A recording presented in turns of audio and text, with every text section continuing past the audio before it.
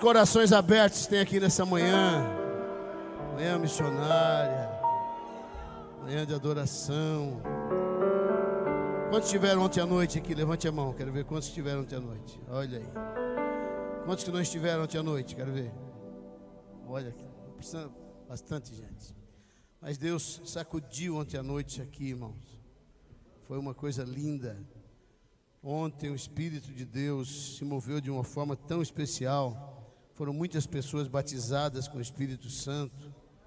Lançamos ontem aqui o projeto Lituânia.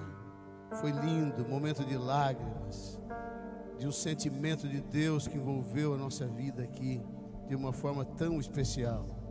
Aleluia. Eu estava, nós estávamos conversando eu e minha esposa em casa, que a gente está envolvido com missões já há muito tempo, 32 anos faz que fomos enviados. Eu, 32 anos, fui enviado para a missão. Minha esposa, 31, vai fazer 32. Mas é, lembramos ontem de congressos antigos, daquele sentimento envolvendo a gente. Davi que está aqui, que também é filho de uma igreja missionária. Criciúma foi uma igreja muito missionária, que enviou alguns missionários para o campo. Mas nós estamos entrando num desafio tão lindo, irmãos, tão maravilhoso. Lituânia é considerado um país não alcançado pelo Evangelho. Quando se fala de povos não alcançados, sempre pensa nos povos árabes. Mas a Lituânia é um país hoje não alcançado. O comunismo tentou apagar o nome de Deus naquela nação. Mas o Senhor está querendo reacender o nome de Jesus naquela nação. Aleluia.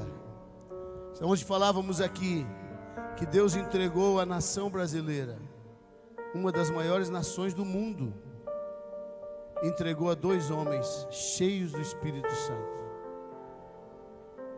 doidos de Deus, que vieram dos Estados Unidos, suecos, mas vieram dos Estados Unidos, porque já estavam lá. E vieram para essa nação e transformar essa nação na maior nação pentecostal do mundo, irmãos. O que que Jesus pode fazer quando um homem se coloca nas suas mãos? Eu quero dizer a você que você pode muito mais do que você tem alcançado. Nós podemos muito mais do que temos feito. E Deus está querendo nos envolver nesse tempo em missões. Hoje, hoje o, o, o Edilson colocou lá que é o dia mundial de evangelização. Dia Mundial de Evangelização. Qual o dia especial para celebrarmos missões, irmãos? E da reforma protestante. É um dia especial. Nós vamos vamos cantar um louvor, vocês conhecem, é bem antigo. Mas foi lá, sem aplausos,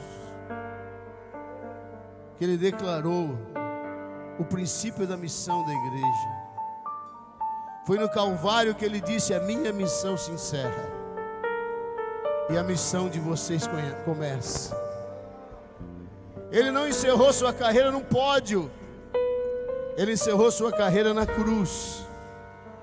Ele não encerrou sua carreira com uma coroa de glória, mas ele encerrou sua carreira com uma coroa de espinhos. Ele não encerrou sua carreira com um troféu na sua mão, mas com marcas e cravos em suas mãos. Eu quero dizer a você, Deus nos chamou para continuar essa carreira, amém? Quantos dizem Espírito Santo, eis-me aqui? A resposta de Isaías: Eis-me aqui, Senhor, envia-me a mim. Vamos cantar quem conhece, aleluia. Pela via dolorosa em Jerusalém chegou certo homem carregando uma cruz multidões podiam ver o homem condenado a morrer. Ele estava tão ferido e sangrava sem parar, coroado com espinhos ele foi e em dor podia ver o homem condenado a morrer pela via dolorosa que é a estrada de horror. Qual ovelha veio Cristo Rei, Senhor? Ele foi quem escolheu dar a vida por ti e por mim, pela via dolorosa, meu Jesus sofreu assim.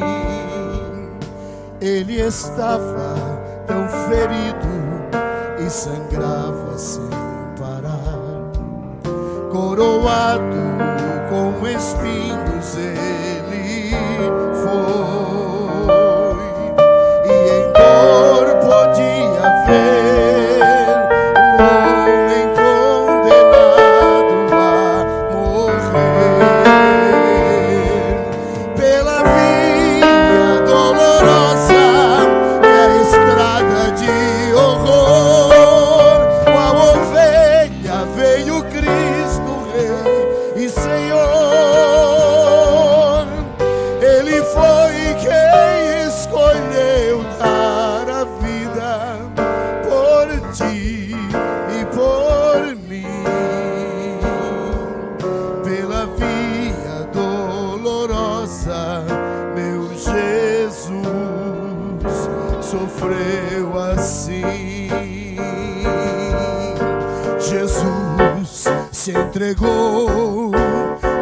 o seu amor, morreu numa cruz em Jerusalém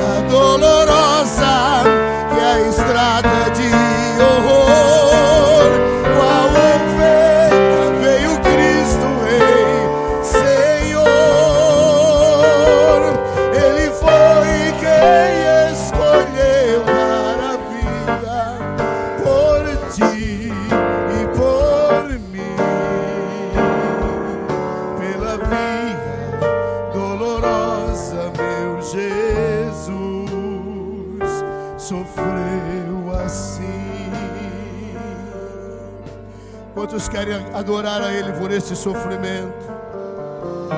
Levante as suas mãos nesta manhã e celebre nesta manhã, porque no terceiro dia Ele ressuscitou e disse: Eis que vos dou poder.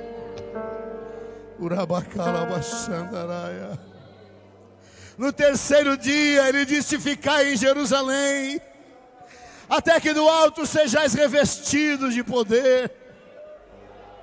Alamandarabachandaraia. Nós te adoramos nesta manhã, Pai. Te adoramos nesta manhã, Pai, por tua bondade, por tua misericórdia. Te adoramos pela obra missionária consagrada no Calvário e confirmada pelo Espírito Santo no dia de Pentecostes. Aleluia, que o teu Espírito nos envolva de uma forma tão profunda, Espírito Santo, que não possamos fugir das garras do teu amor. Cada um de nós possamos nos sentir chamados a fazer a tua vontade, o teu propósito e a cumprir cada um a nossa missão, em nome de Jesus.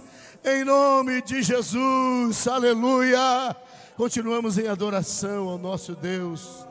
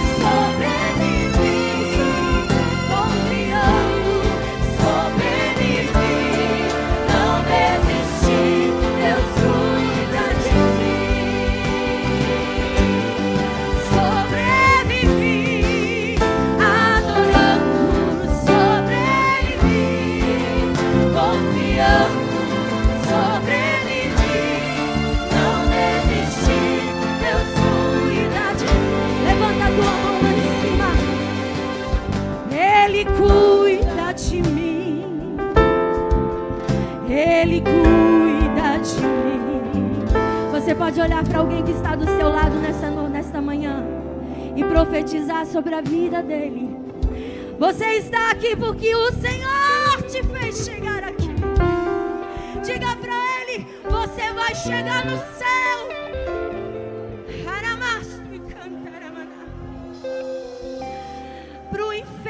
Ouvir nesta manhã. Diga assim: sobrevivi.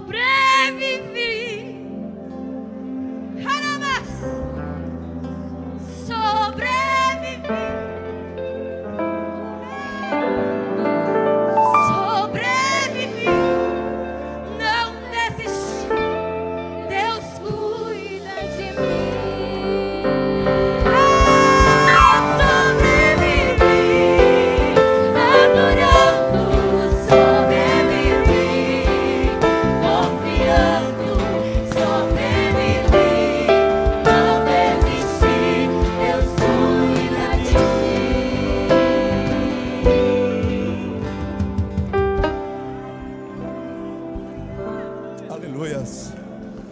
Salva de palmas bem bonita para Jesus, irmãos.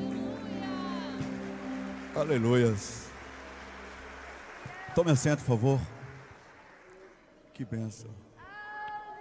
Eu tenho plena convicção que o Espírito Santo de Deus está ministrando aos nossos corações nessa manhã missionária tão linda. E eu estava lembrando, estava lembrando, é, sexta-feira, nós estava lá na Lu, junto com a Kelly, e, e, tinha uma árvore bem grandona, assim, bem na frente assim. Aí aquela disse assim: Sabia que nós temos uma árvore dessa dentro de casa? Daí eu disse para ela assim: Dentro de casa? Sim, uma árvore enorme. É uma suculenta. Só que lá dentro de casa ela está dentro de um, um vasinho desse tamanho em cima da geladeira. Pode fazer um fundinho aí, querido, por favor. Aí eu disse: Mas como? Aí ela disse: Não, é a mesma. Aí o Espírito Santo ministrou meu coração. Essa é a visão missionária. Essa é a visão missionária. Se você pegar missões e colocar dentro de um vasinho, você vai ter uma plantinha desse tamanho. Mas a mesma semente, se você lançar numa terra ampla, ela vai dar uma grande árvore. Foi exatamente o que Jesus disse. Vocês vão ficar em Jerusalém até vocês serem cheios do Espírito. Depois, por favor, não pegue essa semente e jogue dentro de um vazio. Mas vocês vão estar em Jerusalém, Judeia, Samaria e até os confins da terra. E é o que o Espírito Santo quer fazer. Ele quer ampliar a nossa visão missionária. Irmãos, nós estamos sendo tocados por Deus. Eu lembro quando Deus falou conosco aqui, aqui sobre esse grande projeto Lituânia há mais de quatro anos atrás. Eu nunca deixei de acreditar, sempre tive plena convicção e certeza que nós iríamos. Em 2019, a gente esteve lá na Lituânia, nós pisamos naquela terra. Eu lembro-me quando a gente chegou é, em Frankfurt, na Alemanha, nós chegamos bem cedo no portão de embarque e logo começou a chegar os primeiros lituanos. Começaram a chegar, chegar. E é, é muito impressionante porque tem que ser Deus, porque é um amor tão grande que invade seu coração. E, e, todos eles eram lituanos e eles prestavam atenção em nós, porque a gente era diferente, eles são bem altos.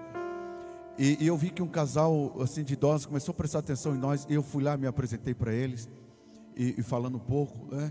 E eles começaram a conversar, começou a chegar outras pessoas. E chegou uma moça, o nome dela Yolanda. A Yolanda estava com, uma menina lituana e a gente começou a conversar com ela. Conversamos um pouco, embarcamos no voo e chegamos a Vilnius. Quando nós chegamos em Vilnius, que o avião começou a sobrevoar Vilnius, assim, é, é, é uma emoção tão grande. E a gente desceu, e quando a gente estava ali na esteira, esperando as malas, aquela moça Yolanda, que a gente conversou com ela lá em Frankfurt, quando ela chegou em Vilnius, no mesmo voo, ela veio com nós no mesmo voo, ela estava embriagada, alcoolizada. É impressionante aquela cultura, irmãos. Eles carregam uma maldição que veio do comunismo, que ninguém consegue ver ninguém. Eles são muito frios. E aquela moça, ela veio totalmente embriagada e ela caiu literalmente no meu lado, na esteira. Ela não conseguia nem ficar em pé. Ela se embriagou durante o voo. Um voo de um pouco mais de duas horas, entre Frankfurt até Vilnius. E quando ela caiu no meu lado, o Espírito Santo ministrou no meu coração, dizendo assim: essa moça caída é exatamente a simbologia dessa nação que está caída e que precisa urgentemente da minha palavra, e por isso eu vou trazer vocês a essa nação. Aleluias. A gente se programou para ficar 11 dias, estava tudo certo, tudo tranquilo. No hotel, tranquilo, a gente conhecendo pessoas, sendo contato com pessoas, interagindo através da língua, uma língua bem diferente. E a gente se preparou uh, para ter esse contato com pessoas para 11 dias, com dinheirinho no bolso, tranquilo. Quando faltava dois dias para a gente vir embora, a Letícia pegou catapora. A médica foi lá em casa e disse assim: ó, chickenpox, catapora. E ela disse assim: ó, a bebê, baby, vai pegar também. Irmãos, tudo mudou, porque a gente teve que ficar mais 12, 13 dias a gente já não tinha mais aonde ficar. Eu pensei que o seguro ia ser responsável por tudo. Não. Você tem que se responsabilizar, responsabilizar por tudo. Depois eles vão avalizar para ver se eles vão é, é, repor o dinheiro para você. Agora, já com pouco dinheiro, sim, aonde ficar. O Espírito, Espírito Santo simplesmente tirou nós do nosso projeto e colocou nós dentro do projeto missionário, dizendo assim: ó, quando vocês virem, vai ser assim. Com a filha doente, dependendo de um milagre. Nós nem tinha certeza da passagem de volta se a gente ia conseguir voltar com a mesma passagem. E Deus começou a nos levar por dentro do seu plano e projeto. A menina que a gente conhecia lá, ela disse assim: Pastor, hoje ainda a menina que morava comigo foi embora do meu apartamento. Se vocês quiserem vir para cá, tem um quarto aqui para vocês ficar aqui. E a gente foi para dentro da casa da Amanda dentro daqueles apartamentos da ex-União Soviética, é terrível, é muito pesado.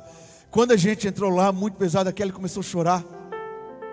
E porque é, a sensação, irmãos, de um lugar onde não existe o predomínio da igreja é terrível, muito difícil. Eu lembro que eu fui na janela daquele apartamento, porque o diabo chegou no meu coração, uma voz muito terrível. E você sabe quando é a voz do diabo, porque ela te joga para baixo e o diabo disse assim no meu coração: O que vocês vieram fazer aqui? Por que, que você não ficou lá na sua nação, na sua igreja? Você vai embora daqui, nunca mais apareça aqui. Eu me senti um lixo, um trapo, andando pelas ruas de cabeça baixa. E quando nós estávamos dentro daquele apartamento, aquele estava chorando porque um peso terrível. Eu abri um pouco da cortina daquele apartamento, eu olhei e vi alguns lituanos andando. Aí o Espírito Santo chegou no meu coração e disse assim: ó, o mesmo amor que eu amo você, eu amo os lituanos também. Se vocês não virem para cá, quem virá? Essa nação espera vocês, eu trarei vocês a essa nação. Vocês precisam atender o meu chamado missionário. Edinho, eu senti a voz do Espírito Santo tão forte e a gente foi renovado dentro daquele apartamento. Por cinco dias a gente não podia sair, porque a médica disse que a gente não podia sair de dentro do apartamento somente para ir ao mercado comprar. E eu disse assim: aqui dentro vai ser a nossa igreja. A gente começou a cantar. A Amanda disse assim: tem um violão aqui. A gente cantava dentro daquele apartamento, a gente orava, a gente fazia o nosso culto ali. E depois eu comecei a visitar aqueles apartamentos, evangelizar os lituanos e a gente teve uma experiência muito linda missionária na Lituânia. Aquela dificuldade, a gente ficou por quase 24 dias. Foi o nosso chamado missionário, a certeza do nosso chamado missionário. E Deus tem feito tudo perfeito, irmãos, tudo perfeito. Eu louvo a Deus por essa igreja, pelo pastor Cláudio Caetano, por pessoas que Deus tem levantado aqui nessa igreja, empresários que Deus tem levantado a história da Ruth tão linda. E tudo já está escrito na eternidade, está tudo certo, está tudo tranquilo. Deus não é que Deus vai fazer, que Deus já fez, está tá perfeito, está certo. Deus nos trouxe de Criciúma a essa cidade, aqui nessa cidade Deus falou com a gente. Essa igreja está nos enviando. Lá Deus colocou no coração do pastor Rimantas. O pastor Rimantas falou para o pastor Cláudio no e-mail nós estávamos orando para que Deus tocasse no coração de alguém. O Espírito Santo é o mesmo, aleluia. O mesmo Espírito Santo que ouviu a voz do pastor Rimantas, é o mesmo Espírito Santo que tocou no coração do pastor Cláudio, do Beto, da irmã Ruth, dessa igreja no nosso coração, é o mesmo, a igreja é a mesma. Aleluia, isso é missões, isso é visão missionária, é Deus levantando alguém, porque esse Ise é divino. Deus deu o seu único filho. Jesus deu a sua vida na cruz. Os pais da igreja deram a sua vida. E nós estamos nos doando por essa causa. Missões até os confins da terra. Que o Espírito Santo venha ampliar a nossa visão missionária. Que nós venhamos alcançar o mundo. Em fevereiro nós estamos indo. Nós estamos nessa questão de documentação, uma questão um pouco chata, né? Tem as leis da nação, mas está dando tudo certo, tudo tranquilo. Já pediram uma data. A nossa filha vai estudar numa uma escola de lituanos. Eu estou aprendendo lituano, é uma língua bem difícil, mas eu estou aprendendo. O pastor Rimantas, fiquei impressionado que ele disse assim: Eu estou aprendendo a falar português, o pastor de lá, porque ele já fala no mínimo uns quatro idiomas, então para ele é muito mais fácil. Então ele já está aprendendo a falar português, também para a gente interagir um pouco melhor. Ele é lituano mesmo, aquela igreja é lituana. Quando a gente esteve lá, a gente passou no lado da igreja. O pastor que estava comigo disse assim: ó, essa aqui é a única igreja, é, ou seja, são uma das poucas igrejas pentecostais da Lituânia. Eu conheci o pastor Rimantas depois que a gente esteve lá e se encaixou tudo certinho. A gente está indo. Ele está bem doente, ele não está conseguindo ir fazer os cultos é, ele não tem nem obreiros, é um adolescente que está fazendo os cultos para ele e a gente está indo numa hora certa. Ore por nós, ore pela nossa família, ore pelos nossos filhos. O pedido foi de dois anos, mas o meu desejo é que a gente nunca mais volte para o Brasil.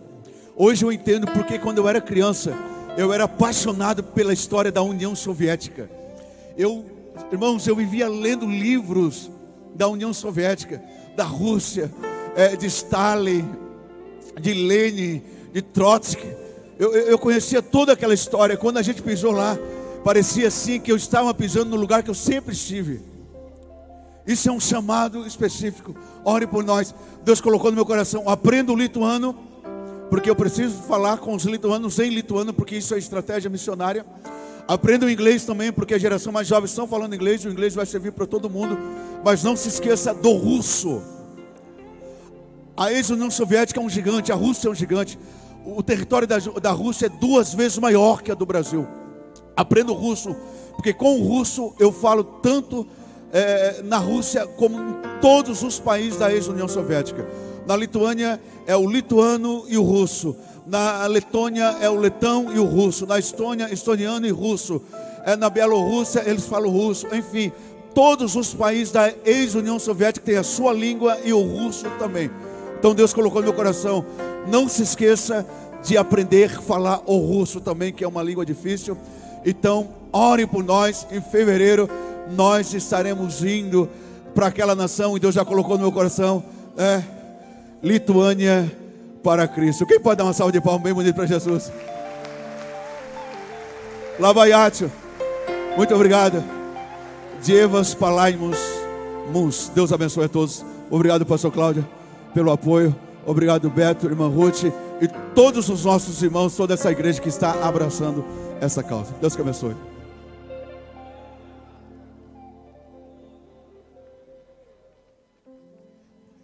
A paz do Senhor, amada igreja. Amém? Aleluia. Louvado seja o nome do Senhor. Isso tudo é para a honra e glória do nome do Todo-Poderoso. Aleluia. Estava falando com o pastor Cláudio, minha esposa deve lembrar. Aproximadamente 10 anos. Aqui muitos conheceram, participaram na gestão do pastor Daniel. E naquele tempo, como ele sempre pregava e falava dos países europeus, um dia nós conversamos, isso talvez até mais de 10 anos. Pastor, e Lituânia, há uma, uma chama no nosso coração, não somente porque minha esposa é descendente, descendente, é porque nós sabemos que lá precisa de Deus, mas não tínhamos caminhos. Aleluia, não tínhamos caminhos.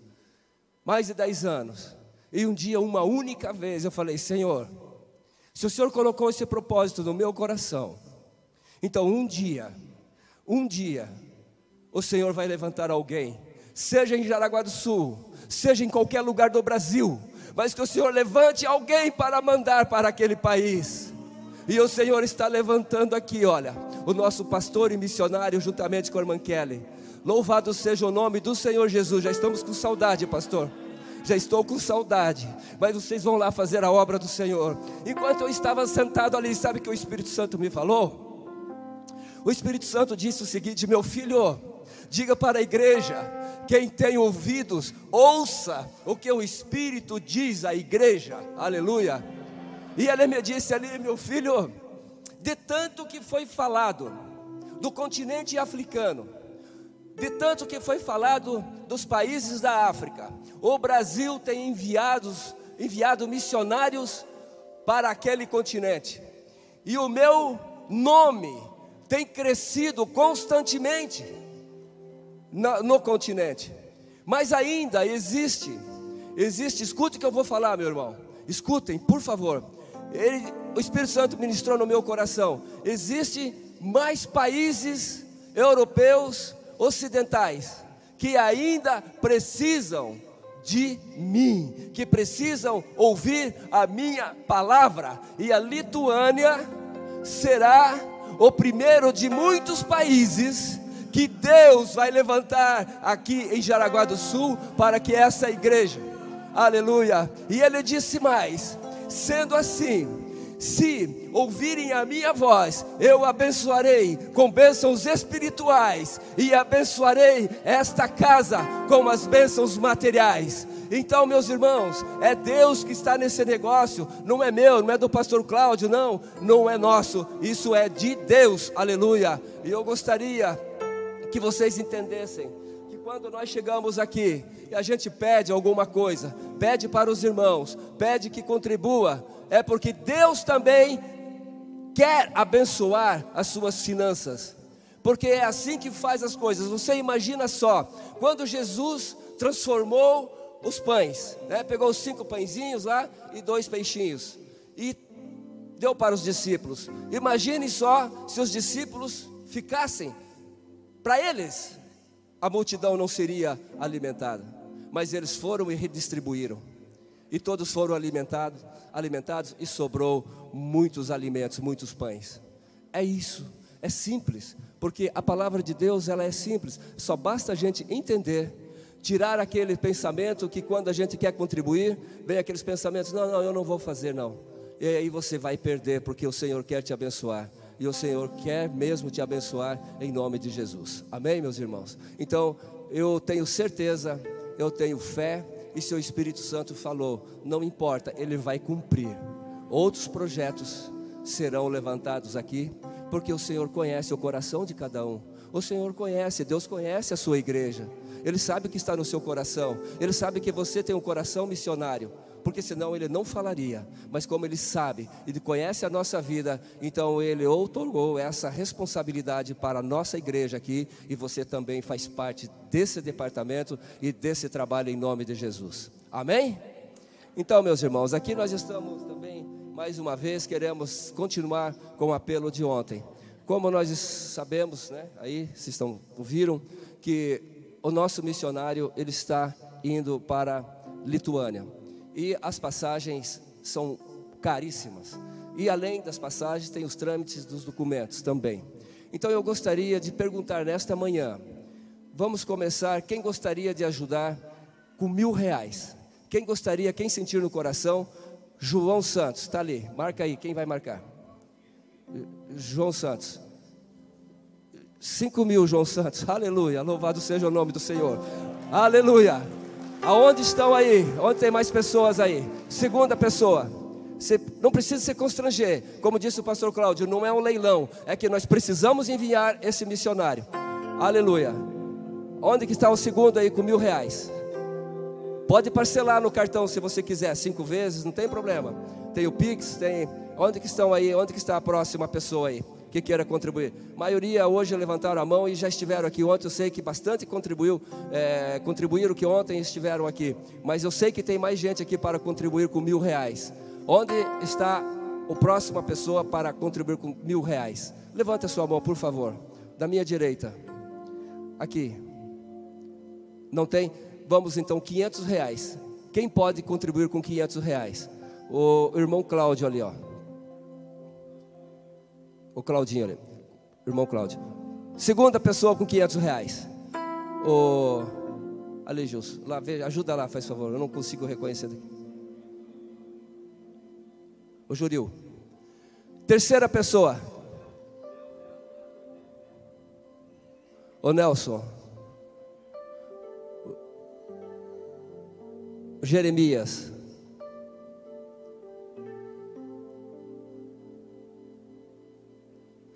Quem mais? Quem mais? 500 reais, lá atrás. Ajudem, por favor, passa, passa as informações aí do nome lá atrás. Alguém pega o nome do irmão aí atrás, por favor, e traz aqui, ó, 500 reais. Quem levantou a mão aí? Aí. Quem mais? Onde? Lá em cima na galeria, tem alguém? Com 500 reais com 500 reais. Eu já vou chamando aqui os irmãos que vão fazer, vão coletar a oferta, pode se aproximar também. Aqui, na minha esquerda. Quem? Ah, lá em cima da galeria tem dois. Ajudem lá, meus irmãos, por favor, porque aqui não dá para ver o nome. Alguém sobe lá, pega o nome, marca, por favor, depois entrega para a gente aqui. Ó, três estão lá em cima.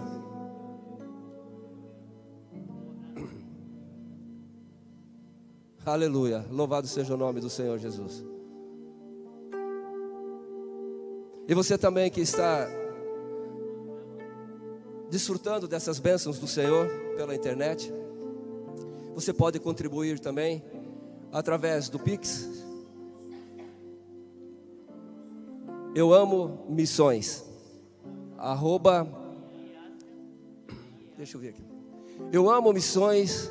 Arroba iadjas você pode contribuir também aí da sua casa, né? você que está aí nessa manhã, é, cultuando ao nosso Deus, você pode participar também.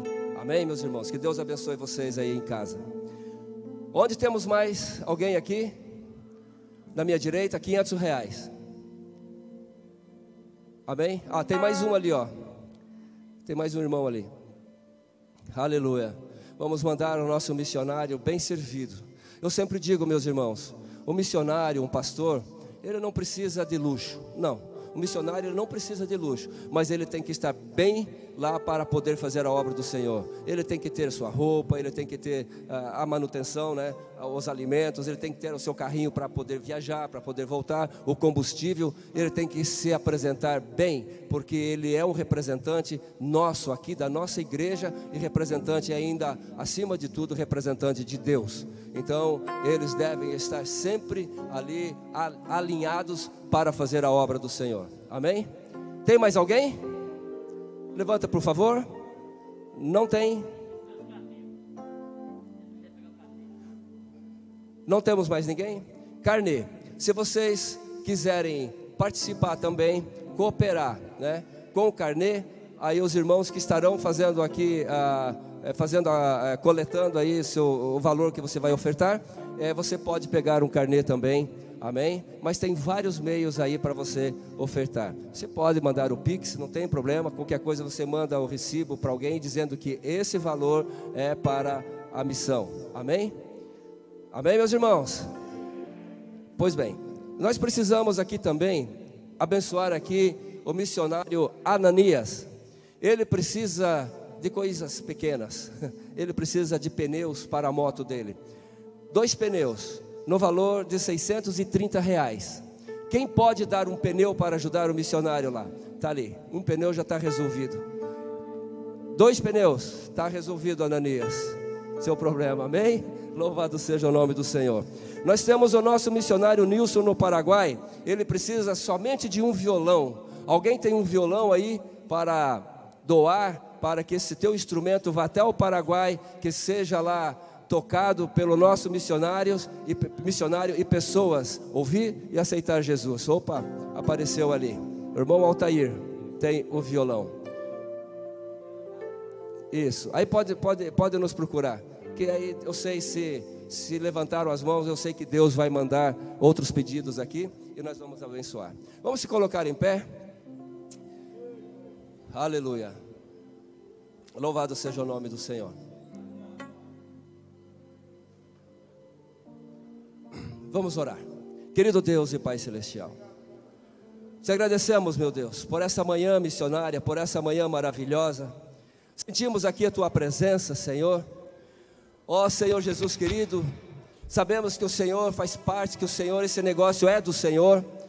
E nós estamos aqui, Senhor, apenas como colaboradores, instrumentos, meu Deus, usados em tuas mãos para fazer a tua obra nada pertence a nós, Senhor. Nada temos, Senhor, para ofertar para ti, porque sabemos que tudo vem do Senhor, aleluia. E nós nos alegramos, meu Pai, com esses investimentos que estaremos fazendo, Senhor, na tua obra. Pessoas aceitarão Jesus, aleluia. Reconhecerão o seu nome, Senhor porque aqui tem uma igreja, Pai, que faz missões de verdade. Obrigado, Jesus, obrigado, meu Deus, por esta manhã e obrigado também, Senhor, pela vida dos nossos irmãos que contribuem com alegria para esse departamento. Nós te agradecemos em nome de Jesus. Amém.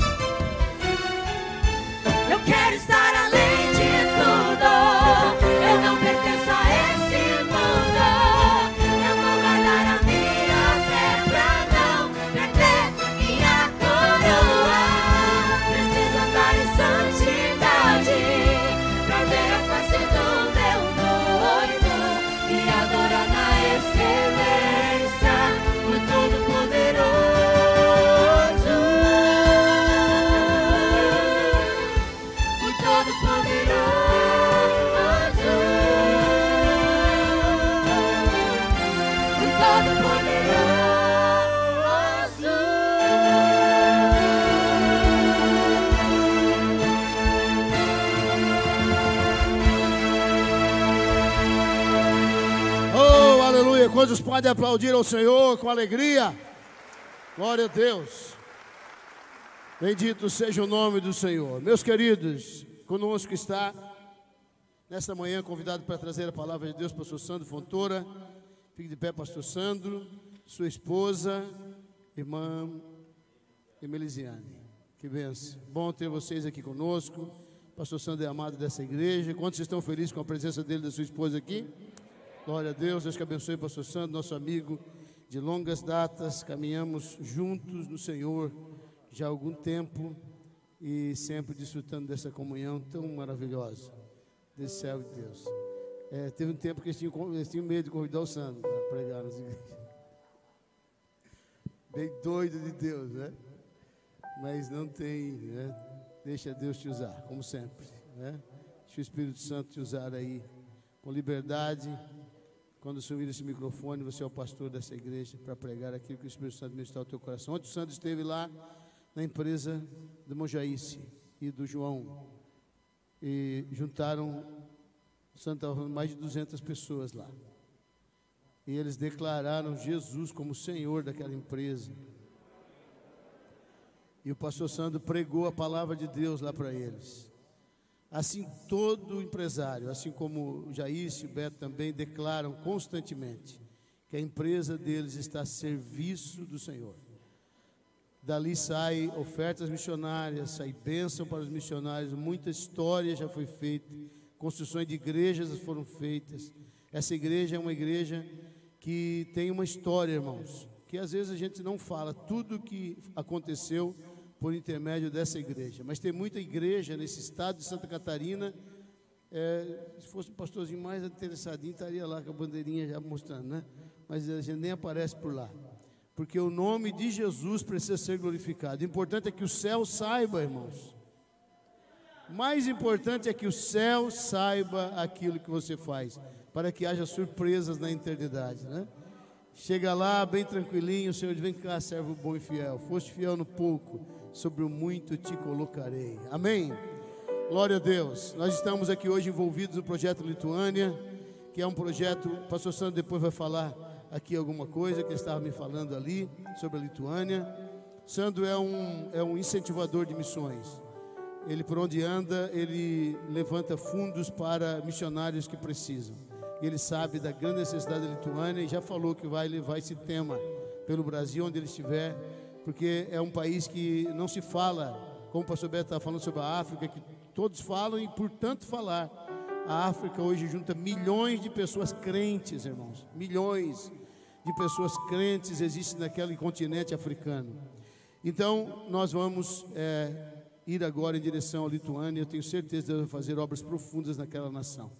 Conosco também está o pastor Moisés, é, que é lá da Lar João 316, pastor Hélio, que é o pastor presidente lá de Braço do Trombudo, não, é Braço do Trombudo mesmo, né? Braço do Trombudo, pastor Hélio, é filho dessa igreja também. Deus abençoe, pastor Hélio, obrigado pela presença de vocês aqui no nosso meio, Deus que abençoe.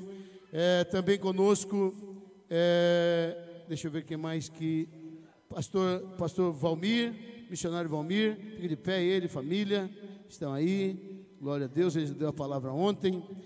Deus que abençoe, querido. Obrigado, pastor Ananias, sua esposa, menina. Deus que abençoe, pastor Ananias. Muito bom ter você aqui conosco. Deus continue abençoando a sua vida de uma forma muito especial.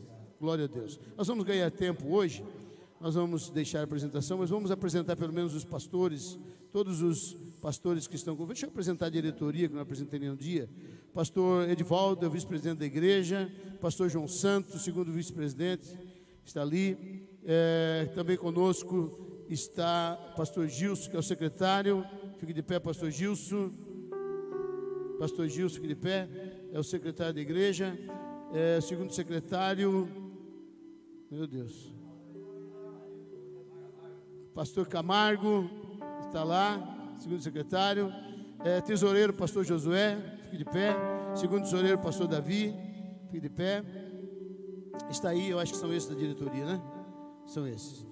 É bom estar com vocês. Bênção de Deus. Todos os pastores do campo, levante, fique de pé. Todos, dirigentes de congregação, os pastores integrados, por favor, fique de pé.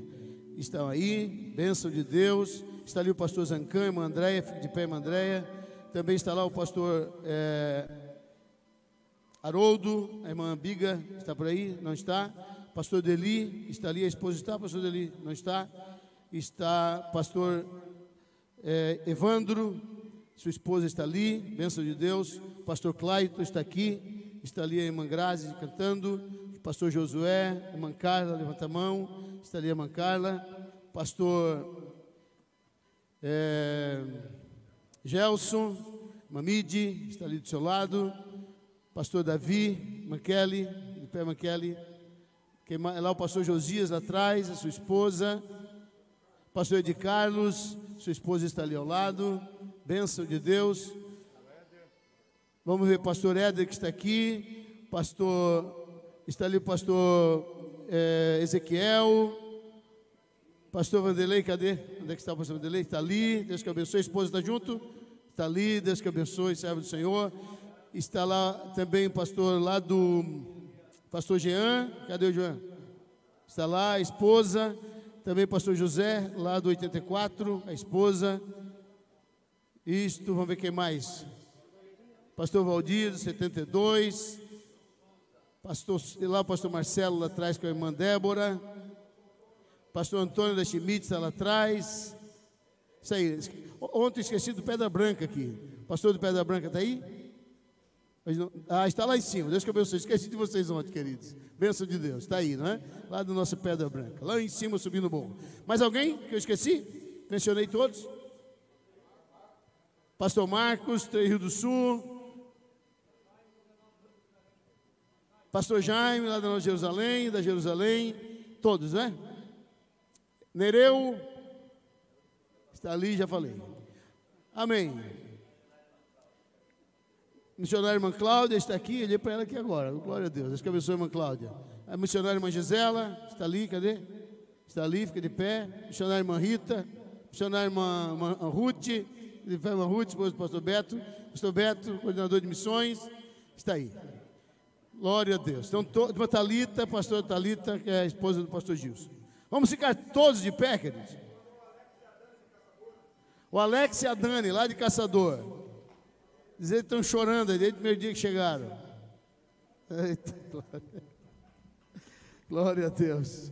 Que coisa boa do céu, irmão. Nós vamos dar uma saudação de boas-vindas, depois você abraça seu irmão. Você diga para ele que bom que você veio, estou feliz de estar com você. É, eu creio que é uma das maiores manhãs missionárias que estamos tendo em Jaraguá do Sul. É, pensa que a pandemia não segura a igreja, não, meu irmão. Só faz a gente ter mais saudade de adorar, de fazer missão. Vamos dizer todos juntos, bem forte. Sois bem-vindos em nome do Senhor Jesus Cristo. Amém e amém. Abrace quem está do seu lado, diga para ele que bom que você veio, estou feliz de estar com você. Feliz de estar com você. Aleluia!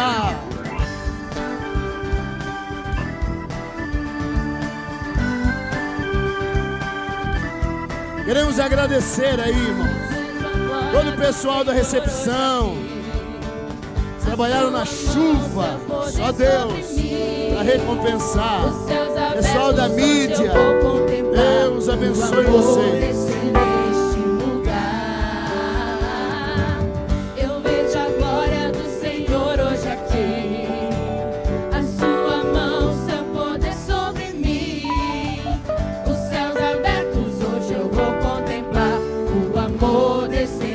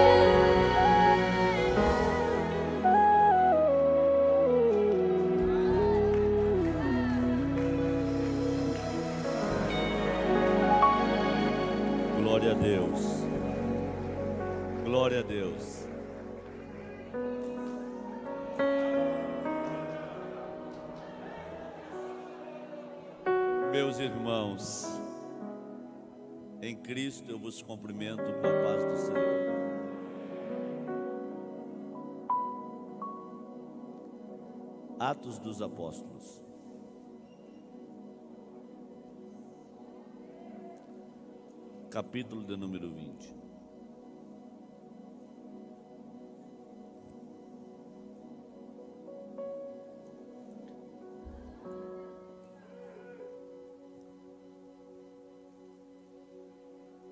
Terceira viagem missionária do apóstolo Paulo, passando pela Macedônia, pela Grécia, e pela Ásia.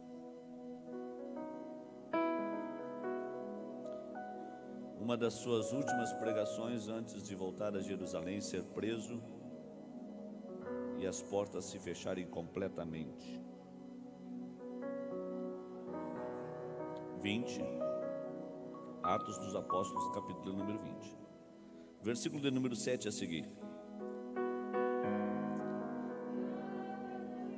Assim diz a Bíblia na tradução que tem, pois são muitas as suas traduções. Eu amo tanto a Bíblia, irmãos. É o único livro que eu posso ler tendo o autor presente. O único. E tudo que eu não entendo dela, o autor está pronto para me ensinar. O livro extraordinário. No primeiro dia da semana, juntando-se os discípulos para partir o pão. Era um culto de Santa Ceia, tá? Paulo, que havia de partir no dia seguinte, falava com eles e alargou a prática até a meia-noite. Havia muitas luzes no cenáculo onde estavam juntos. E estando um certo jovem, por nome Eutico, assentado numa janela, caiu do terceiro andar, tomado de um sono profundo, que lhe sobreveio durante o extenso discurso de Paulo. E foi levantado morto. Paulo, porém, descendo, inclinou-se sobre ele e, abraçando-o, disse: Não vos perturbeis, que a sua alma nele está. E subindo e partindo pão e comendo, ainda lhes falou largamente até a alvorada. E assim partiu. Amém, queridos? Até aqui, quero estar assentados. Meus irmãos, é uma satisfação retornar a essa casa de oração num ambiente tão agradável como nós estamos vivendo aqui nesta manhã missionária. Rever Pastor Cláudio Caetano, grande amigo, um, um parceiro, esse homem de Deus, sempre é uma grande alegria, Pastor Cláudio. Sua esposa, a missionária Gisela, que Deus em Cristo siga usando a vida de vocês. Nesse exemplo de fé, de unidade, de comunhão, que reflete nós as coisas boas dos céus. Que Deus preserve vocês debaixo das suas mãos. Eu me faço acompanhar da minha esposa, irmã Elisiane Fontoura. Não é sempre que me acompanha, mas é uma satisfação tê-la comigo nesta manhã. A Elisiane é minha parceira da obra missionária. Nunca ouvi um não da boca dela. Nunca. Por que fosse dentro do reino de Deus, essa mulher nunca me falou não.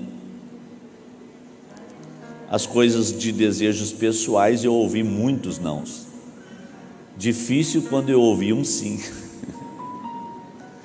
Mas para as coisas do reino, sempre sim. Então, é uma satisfação. Rever aqui os missionários presentes, o irmão Beto, que lidera esse departamento de missões, aceitando esses desafios. Estava ouvindo aqui da Lituânia, tem de 8 a 10 anos atrás, mais ou menos, eu recebi um desafio da Lituânia.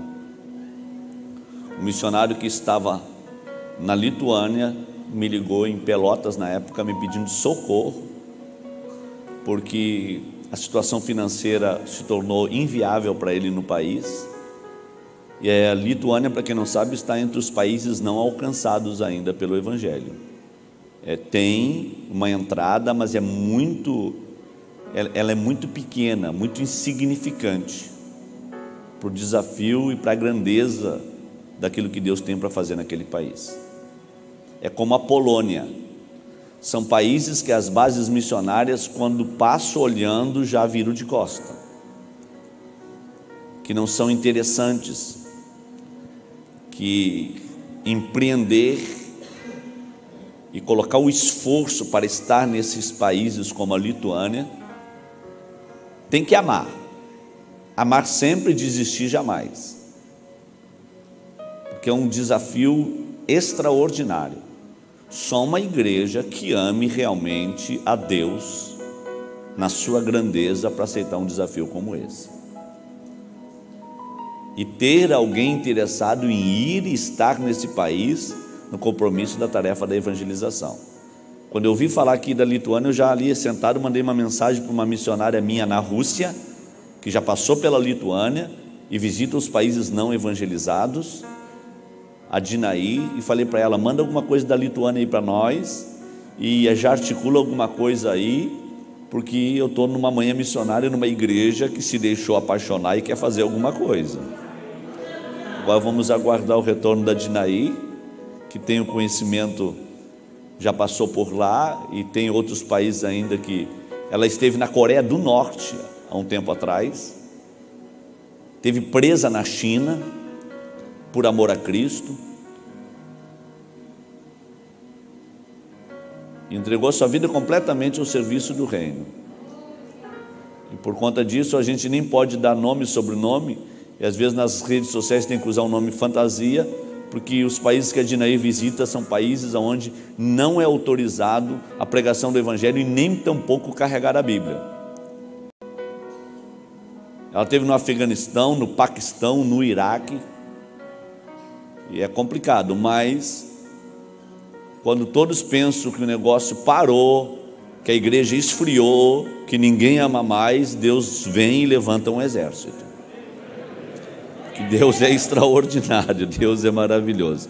Aos missionários aqui presentes, recebo o nosso abraço. Ontem fiquei muito impressionado lá com o culto lá do Jaice, na empresa, junto com todos os seus colaboradores. A grandeza do Jaice do irmão João. Parecia que estavam mostrando assim um projeto de Deus, tratando o funcionário como se fosse um, membros da sua família glorificando a Deus em cada detalhe de tudo aquilo que Deus fez. Existe um movimento, irmãos, que está acontecendo e está fugindo ao olhar de muitas pessoas. Um movimento assim de pessoas que, na sua individualidade, entenderam o que pode fazer para Deus, que estão se doando e não estão poupando esforço e nem tampouco estão amando o seu bolso mas estão investindo porque entenderam que o tempo é agora e que existe uma certa urgência na tarefa da evangelização. Tem um rapaz aqui em Santa Catarina que é dono de uma ervateira, uma das maiores ervateiras do Brasil. encontrei ele, ele estava em quase estado de falência com a empresa dele, e eu falei para ele: faça da tua empresa uma base missionária. E ele abriu o coração, falou: Pastor, eu vou aceitar esse desafio. Hoje, toda a erva mate que vai para o país do Uruguai sai da ervateira dele. Toda. E ele sustenta aí dezenas de missionários com a ervateira dele, investindo um dinheirão por mês em obra missionária. Apaixonado, e esses dias ele me ligou e falou: Eu quero mais missionários. Eu falei, calma, dá, dá uma seguradinha. Eu não, mas eu quero mais. Eu preciso fazer mais. Porque Deus está fazendo essas coisas assim extraordinárias. Tem pessoas que nasceram com esse dom, com essa capacidade. Capacidade de repartir, de não guardar. Recebe, mas vai repartindo e vai repartindo. E quanto mais reparte, mais Deus vai dando, mais Deus vai trazendo de volta. É uma coisa extraordinária. Fica aqui meu incentivo a todos os empresários que estão aí nessa luta, que não é fácil em meio à pandemia, não deixaram de fazer, continuam fazendo, estão se deixando apaixonar cada vez mais. Eu recebi um convite há poucos meses atrás para pregar na igreja de um grande amigo nosso, no estado de Minas Gerais. E, e a irmã que me ligou, ela trabalha numa cidadezinha próxima, onde está o trabalho desse nosso amigo que também mexe com obra missionária. E ela ligou, alimentando o desejo de me levar lá para ministrar. Em meio à pandemia, em meio a tudo isso, ela disse: Pastor, eu estou aqui criando um boizinho há três anos já, e eu quero matar o boi para comprar suas passagens aéreas e dar um jeito de lhe trazer aqui, porque é um sonho que eu tenho. Então o senhor sinaliza, daí eu mato o boi, já vendo e compro passagem, faço tudo. Aí eu falei para minha esposa, como eu queria preservar o boi dessa irmãzinha, que ele não tem culpa de nada disso que ela está criando aí como projeto. E aí minha esposa falou assim: olha, Deus tem nos abençoado tanto nessa pandemia, quem sabe tu não se esforce, não vá lá, sem, sem exigir nada. Eu falei, claro. E à tarde eu liguei para um amigo meu que nos ajuda na obra missionária e falei para ele, Vanderlei, eu vou te contar uma história aqui de um boizinho aqui, e aí tu, tu guarda essa história para você. Aí contei para ele da irmãzinha do interior, do meio dos cafezais, que está orando, e já há três anos está cevando um boizinho, e eu não queria ver aquele boi morto e tal. E aí o empresário falou para mim: Não, não deixa matar o boi, não. Compra logo as passagens, compra a tua, não esquece de comprar a minha, porque eu quero ir lá abraçar essa mulher. Essa mulher é de uma, de uma fé tão grande, nós não vamos pegar um centavo dela, tudo é por nossa conta. Tá? Nós vamos ir, vamos lá realizar o sonho dela, e vai ser uma benção para todo mundo. E assim nós fizemos, pegamos um avião em Porto Alegre, fomos até Vitória, no Espírito Santo, e descemos para o estado das Minas Gerais. Chegamos lá, uma cidade com 9 mil habitantes, pregamos sábado à noite, domingo de manhã, e domingo à noite num culto com umas 400 pessoas, e um clima muito amistoso entre os irmãos. A irmã muito feliz. Eu deixei para dar notícia no encerramento do evento, que eu não queria que o boizinho dela morresse, que ela não ia ter despesa conosco, que era tudo por nossa conta, que nós estávamos constrangidos no amor de Deus, e aquela coisa toda. E quando eu fui pregar, no momento que eu estava terminando a pregação, um cidadão que me olhava bem do fundo assim parou de pé e veio no altar. Quando ele veio no altar, ele olhou para mim e falou assim: Pastor, eu preciso voltar para Jesus agora. Eu falei: Que bom, que bom. Aí falei para o Vanderlei: Ora por ele aqui, que ele está querendo voltar para Jesus. Vanderlei veio, orou, ele voltou ao banco, mudou a direção, foi lá do outro lado, dobrou o joelho na frente de uma irmã. Eu vi que ele falou algumas coisas e eu pensei comigo, deve ser esposa dele ato de reconciliação. Dali um pouco ele deitou a cabeça no colo da irmã, a irmã se inclinou e abraçou ele. Aí veio outras duas irmãs e abraçaram com ele. A igreja toda em silêncio. Dali um pouco ele levantou de lá e veio de novo. Parou na frente do altar e falou: Pastor, agora eu quero falar. Aí eu olhei para o pastor da igreja, o pastor da igreja falou assim: Ele acabou de reconciliar, fica à vontade, quer deixar falar, deixa. Eu passei o microfone para ele, ele pegou o microfone e falou assim: irmãos,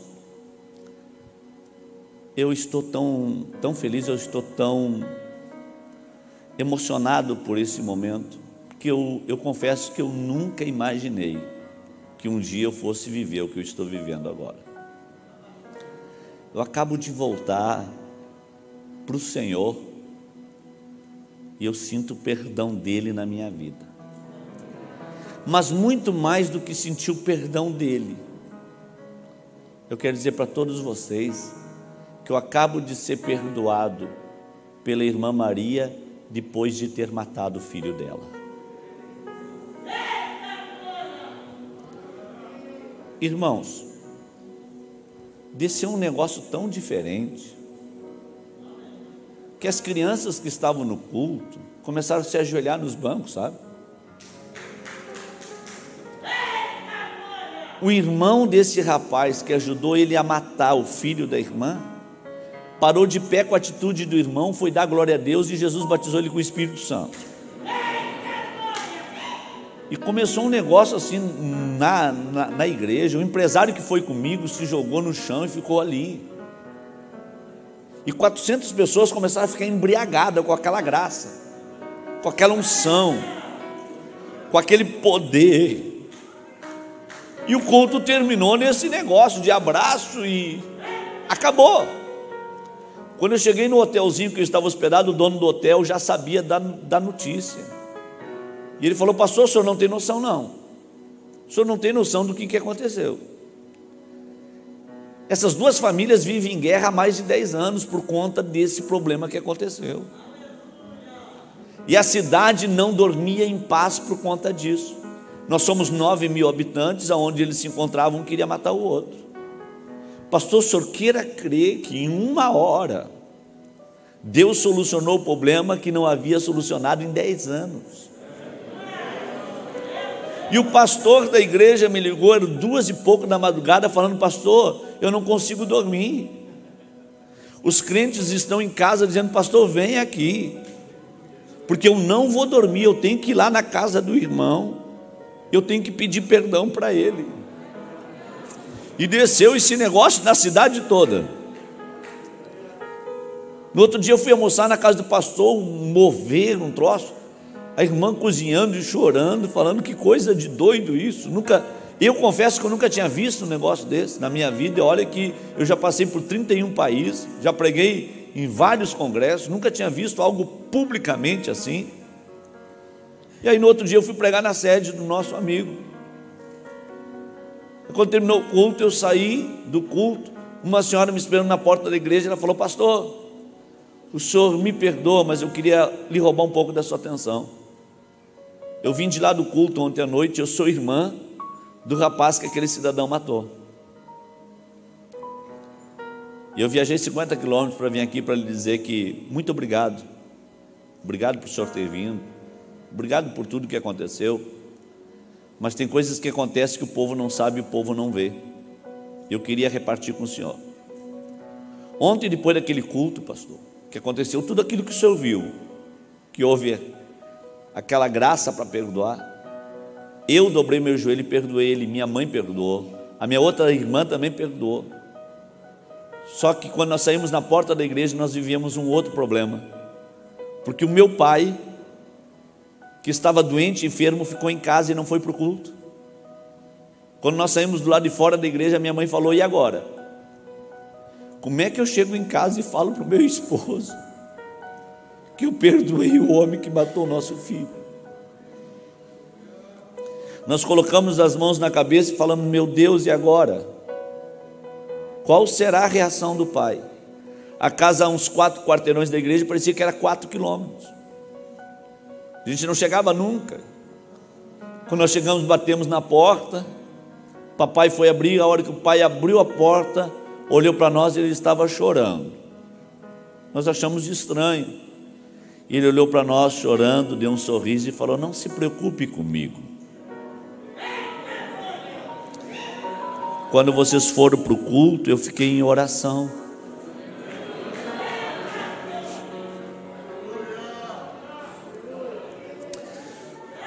E Deus falou para mim que hoje estaria curando vocês lá na igreja. E o mesmo Deus que curou vocês lá na igreja, veio na frente de vocês para curar eu também.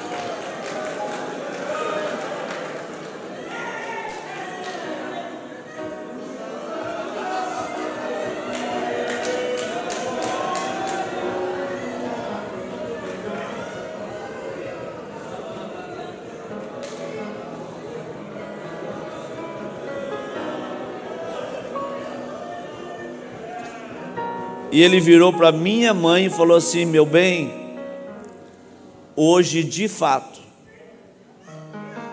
nós sepultamos o nosso filho. E ela falou: Pastor, estamos curados. Eu acho que uma das lições no pós-pandemia, uma das lições que Deus vai deixar para nós, é essa capacidade de entender que a nossa vida é curta.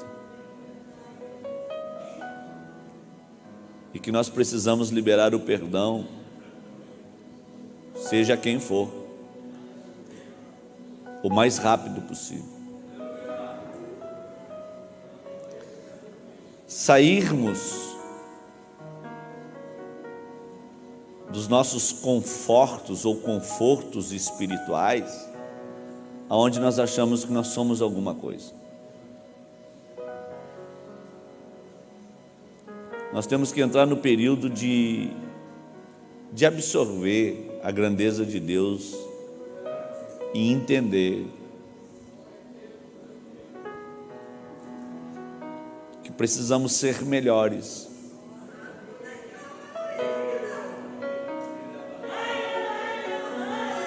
Precisamos ter atitudes diferentes, comportamentos diferentes. O texto que eu acabo de ler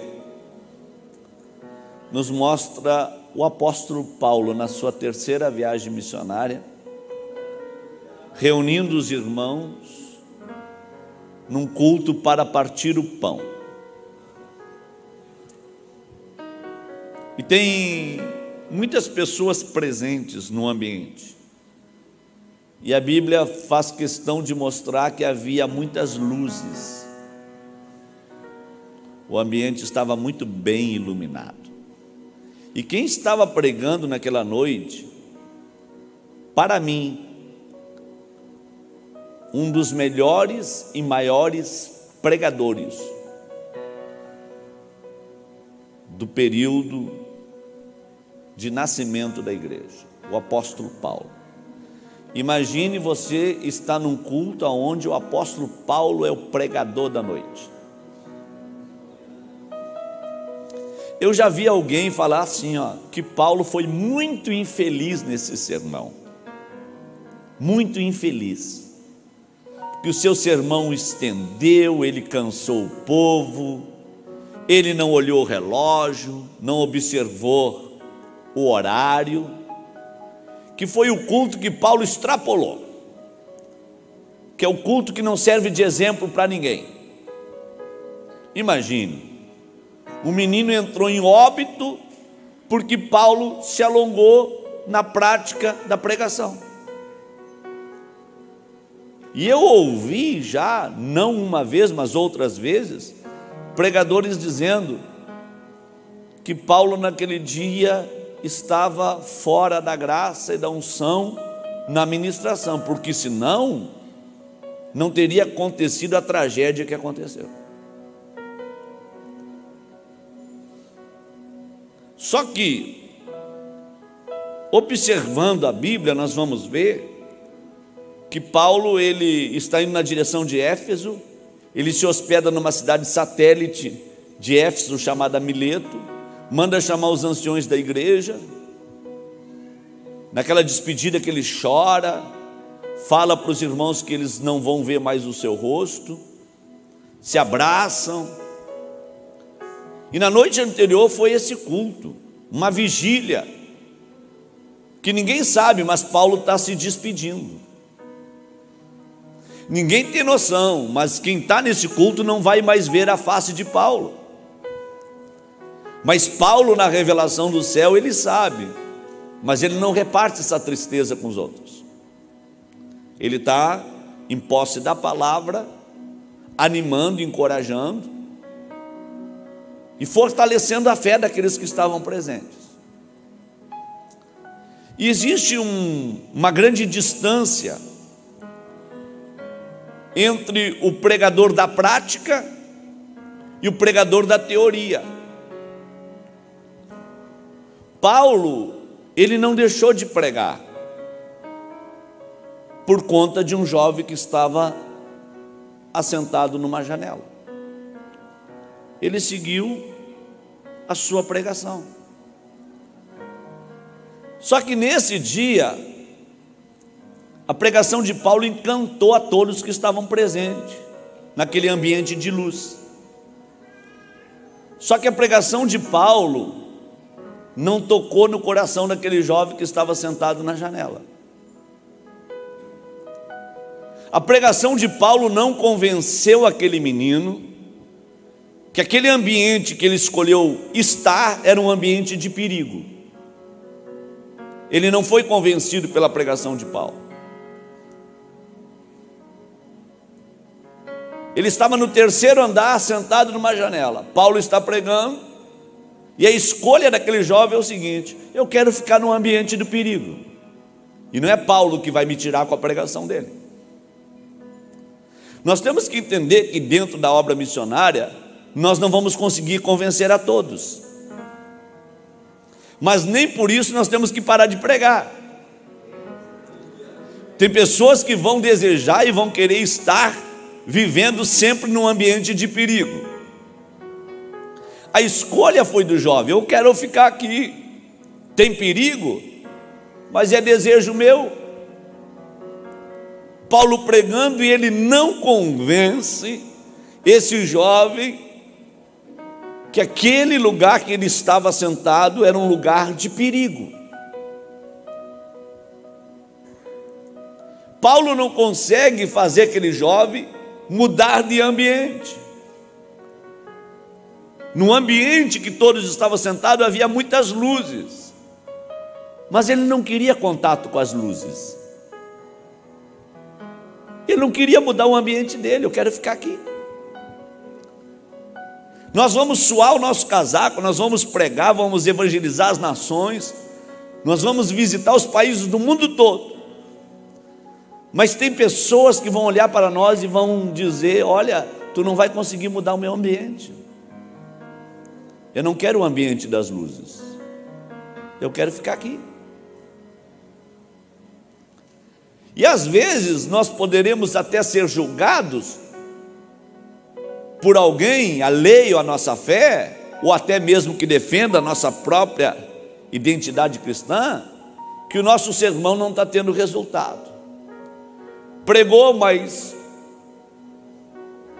ninguém foi transformado, o cidadão lá não, está vivendo no mesmo ambiente que sempre viveu. Eu gosto muito desse negócio de porta e janela, né? Jesus falou assim: Eu sou a porta. Jesus não falou que ele é a janela. Falou que pela janela vem o ladrão e o salteador, mas ele é a porta, né? Quando Mical desprezou a Davi, diz a Bíblia que ela estava na janela, né? E Davi vinha trazendo a arca, tomado pela glória de Deus por aquela unção, e ela da janela desprezou, morreu estéreo por isso, que desprezou a glória de Deus, e ela desprezou na janela. Ao contrário da sunamita, quando Eliseu mandou chamá-la, para perguntar para ela o que, que ela precisava da parte de Deus, e ela não tinha filho, ela parou na porta, diz a Bíblia que ela parou na porta, não parou na janela, né? Parece que a janela é um lugar meio complicado. Quem aparece na janela não quer mostrar tudo, né? Quer mostrar parte. Parece que quem está na janela não quer se identificar por completo. E Paulo está pregando e o garoto está na janela, não está. Tu não muda o meu ambiente, o lugar é de perigo, mas é problema meu. E ali está o menino. A pregação de Paulo não impediu que esse jovem tivesse sono. Imagine, Paulo pregando e alguém conseguir dormir, irmãos. Como é que pode? Um dos maiores pregadores da história. Não tem para ninguém, não tem Billy Graham, não tem Reinhard Bonk, não tem nada, não tem Teleosco, não tem Gigi Ávila, não tem nada. É Paulo que está pregando. É o homem que vai converter o coração de muitos na Europa, que vai fazer o rei de Roma bater continência para ele. É um homem que encanta pela sua sabedoria quando abre a sua boca. Mas tem alguém no culto dele que agora está com sono. E a pregação dele não tira o sono desse rapaz. Será que o sermão de Paulo estava tão fraco nesse dia que não conseguiu tirar, extrair o sono de alguém que resolveu estar no ambiente do perigo, de alguém que fez uma escolha pessoal de estar ali. E diz a Bíblia que o menino acaba dormindo. E o que é mais triste, a pregação de Paulo não impede o rapaz de cair. A gente prega, grita, se esforça, empreende, busca, clama, ora. E a gente vê pessoas caindo à nossa volta e como é frustrante, como é decepcionante. Ver pessoas que não conseguem se sustentar de pé. Como nós queríamos ver pessoas se levantando na autoridade. Mas como é complicado ver com os nossos olhos alguém que amamos tanto fazer escolhas erradas, desejar viver num ambiente de perigo, trocar a porta pela janela, dormir facilmente e vir a queda, chegar ao ponto de cair. Como é decepcionante. A pregação de Paulo não impediu o rapaz de cair e não pediu o rapaz de morrer. Diz a Bíblia que o menino despencou do terceiro andar e caiu lá embaixo, morto. Irmãos, eu fico pensando, se fosse o profeta Jonas ia fazer festa. Sabe por quê? Porque Jonas pregou e falou para a grande cidade de Nínive: Deus vai trazer juízo contra vocês. Quando Deus não trouxe o juízo, Jonas ficou decepcionado. Porque o que Jonas queria é que logo após a sua pregação, Deus destruísse a cidade de Nínive. Se fosse Jonas no lugar de Paulo, ia chegar lá no terceiro andar e olhar para baixo, ia falar bem feito, recebeu o que merecia, ia seguir pregando para todos que estavam no ambiente da luz. Porque na teoria é fácil, na prática tem que ser diferente. Se vocês observar na história de Jonas, para essa pregação de Paulo, vocês vão ver a diferença que existe entre ambos. Paulo quer cumprir a missão, para isso, ele está fechando a sua terceira viagem missionária, ele vai descer para Jerusalém e vai ser preso. E diz a Bíblia que ele tinha pressa para chegar em Jerusalém. Na loucura da chamada, tinha pressa para ser preso. Jonas, quando Deus tem um problema, qual é o problema de Jonas? Uma chamada, ouvir a voz de Deus. Deus fala: Jonas, eu quero te usar. Jonas ouve a voz de Deus, escuta. Que, que tu queres, Senhor? Vai à grande cidade de Nínive, fala contra ela a maldade, o pecado deles subiu até diante da minha presença, eu vou trazer juízo contra eles. Jonas ouve a voz de Deus, recebe a mensagem, fala: tá bom, Senhor. Em vez de ir até a cidade de Nínive, ele começa a empreender um plano de fuga. Quando Deus chama Jonas, ele tem um problema. Quando Jonas ouve a voz de Deus, Deus passa a ter dois problemas. Agora não é só Nínive, agora é Jonas também que se torna um problema. E é uma coisa tão interessante que Jonas, quando ele ouve a voz de Deus, ele vai até o porto de Jope, não para seguir uma viagem para Nínive, mas ele chega lá buscando uma embarcação, que segundo a tradição local reza, que a cada seis meses saía uma embarcação para Tarsis, cidade que ficava dois mil quilômetros para dentro do mar Mediterrâneo, ao norte da Espanha. E justamente o Jonas fazendo tudo errado começa a dar tudo certo. Ele chega no porto de Jope num dia que tem um navio que está saindo naquele dia para Tarsis. E Jonas, além de ter a sorte do navio estar ali, o preço da passagem que estão cobrando para esta viagem cabe no bolso de Jonas. Diz a Bíblia que quando alguém fala o preço, ele fala: Eu tenho dinheiro e eu quero embarcar fazendo tudo errado, começa a dar tudo certo. E as coisas começam que, que ir para um caminho de, de paz, de passividade entre Jonas e Deus. Está dando tudo certo, porque se não tivesse dando, com certeza a mão dele estava sobre mim. Mas eu estou fazendo errado, mas está dando certo. Vamos embora. Ele entra para dentro da embarcação, ele vai para o porão e chega lá, tem uma cama. Olha que sorte tem uma cama. e ele vai fazer uma viagem deitado. Jonas não perde o sono, ele dorme. Dorme ao ponto dos marinheiros na hora da tempestade ir lá acordar ele e dizer para ele: Vem cá, tu não se dá de conta que nós estamos perecendo? Eu sempre digo que quem tenta fugir de Deus tem que pagar a conta. Quem se joga nos braços de Deus, Deus começa a assumir todos os seus compromissos. Mas quem tenta fugir tem que pagar a conta. E Jonas pagou a conta. Ele está no porão do navio e de repente Deus olha do céu. Se eu sou Deus, eu confesso para vocês que eu levantaria um marinheiro daquela embarcação. Quando lançaram sorte e caiu sobre Jonas, e eles declararam: Fala de onde tu vens, quem tu és, que povo tu pertence, qual Deus que tu serve. E Jonas, naquela cara de pau dele, fala para os marinheiros: Eu sirvo ao Deus que fez os céus e a terra. Mas quem serve não foge. Quem serve ama. Quem serve protege. Quem serve tem compaixão. Quem serve perdoa. Quem serve não levanta muro, constrói pontes. Quem serve está à disposição. Mas ele está fugindo. E o que é impressionante é que Jonas está dentro da embarcação fugindo. Depois de ter ouvido a voz de Deus.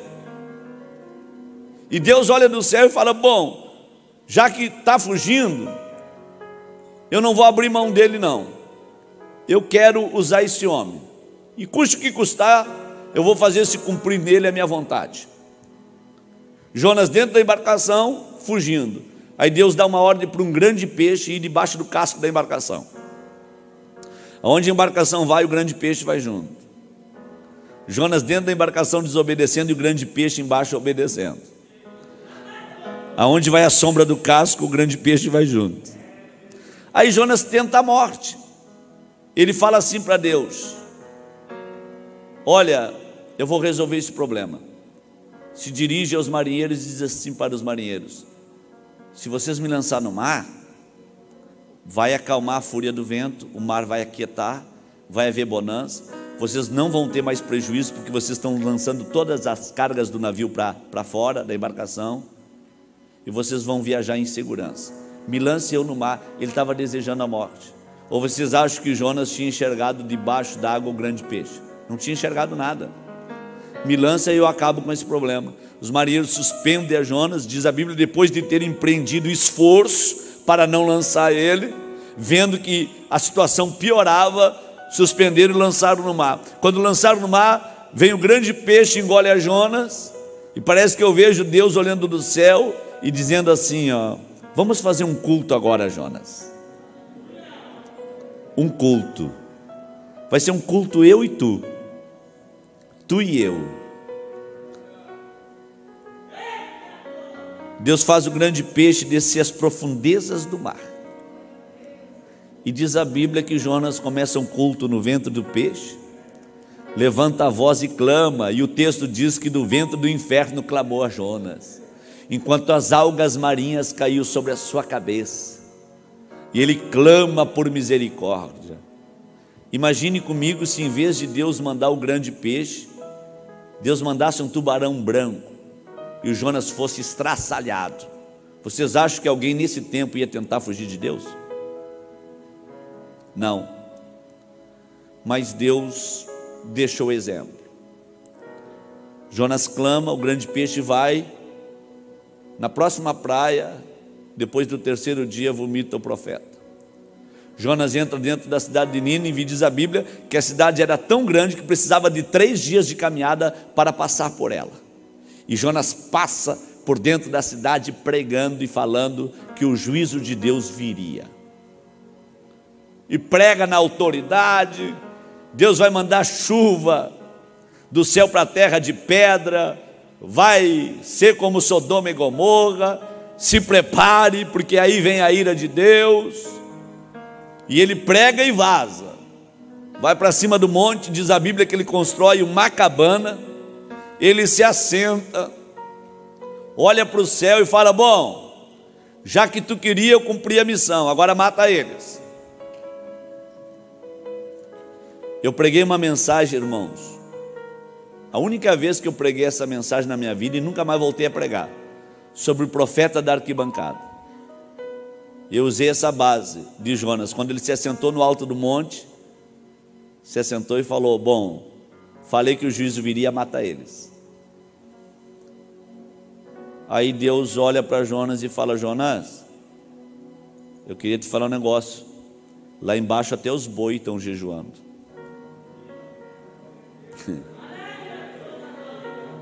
Do rei aos súditos. Entraram numa campanha de oração e jejum. Aí sabe o que, que Jonas fala para Deus? Foi isso que eu te falei lá no começo quando tu falaste comigo, que as tuas misericórdias são abundantes, que tu te arrepende. Foi o que eu te falei lá no começo, por isso que eu não queria vir. Agora, tira a minha vida, pode me matar. Aí Deus olha do céu e vê Jonas no barraco que ele construiu de madeira. Deus faz nascer um pé de abóbora do lado do, do barraco do Jonas.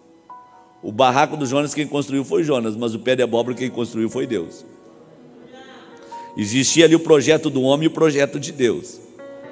Aí o pé de abóbora faz uma sombra e Jonas sai de dentro do barraco, vai para debaixo do pé de abóbora e diz a Bíblia que depois que ele pede a morte, ele fica esperando a resposta de Deus.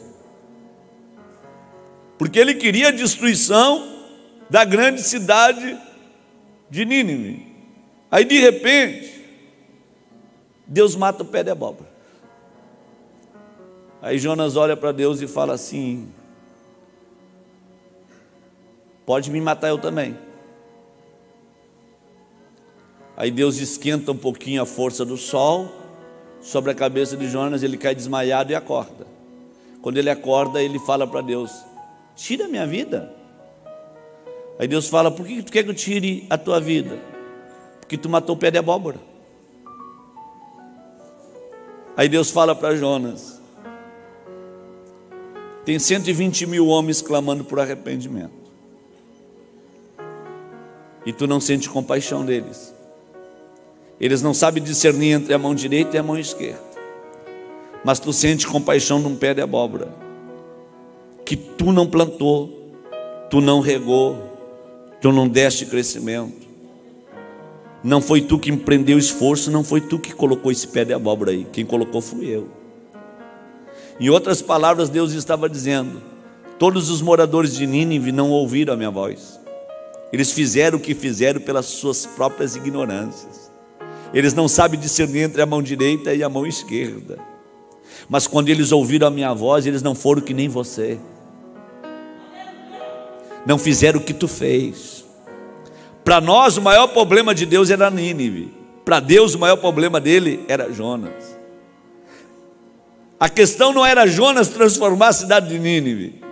A questão era no projeto de Deus, Deus usar uma grande cidade para transformar o coração de um homem. Que amava mais um pé de abóbora do que a alma daquele que estava arrependido, clamando por misericórdia.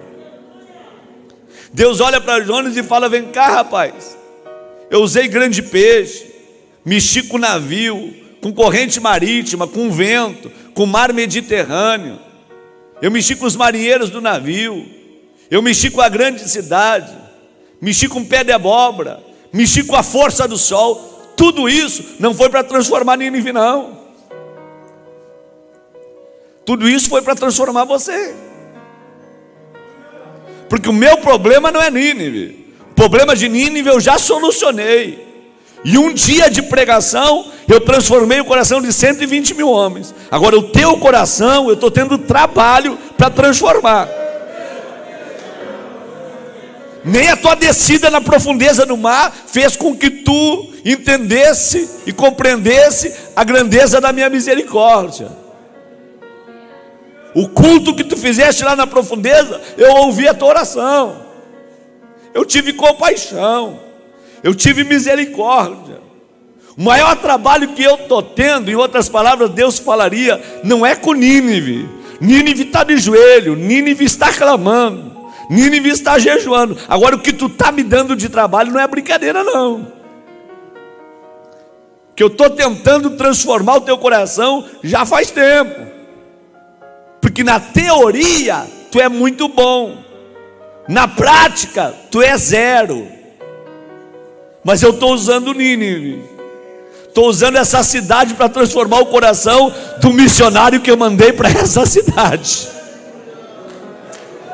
Olha na visão de Deus. Eu estou usando a cidade ao qual tu foste enviado para transformar o teu coração. Porque tu não tem estrutura para mudar o coração deles. Quem planta sou eu, quem dá vida sou eu. Quem dá crescimento sou eu. Quem coloca no devido lugar sou eu. E assim como eu dou, tenho poder para matar. Eu matei o pé de abóbora porque eu não queria te matar você. Porque para Deus era mais fácil matar a Jonas. E se eu fosse Deus, eu matava Jonas. Eu deixava o pé de abóbora de testemunha e matava ele.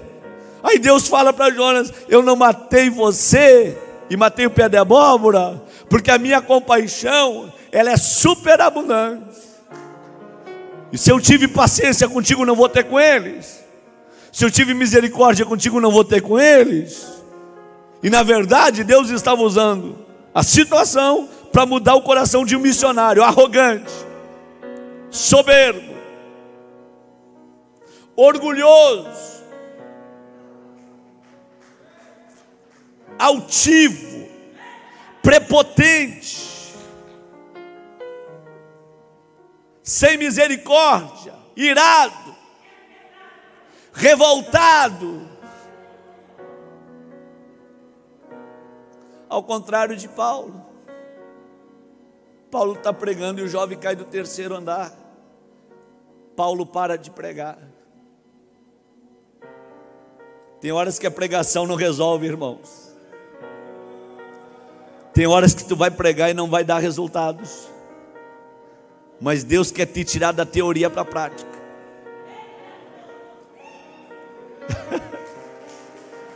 da teoria para a prática. Caiu o menino. Todos estão olhando para Paulo. O menino está lá na janela. Ninguém vê o menino cair, mas Paulo vê. Quando o menino cai, Paulo para a pregação e ele desce do terceiro andar. Porque ele entendeu: se a minha pregação não resolveu, é hora de eu descer.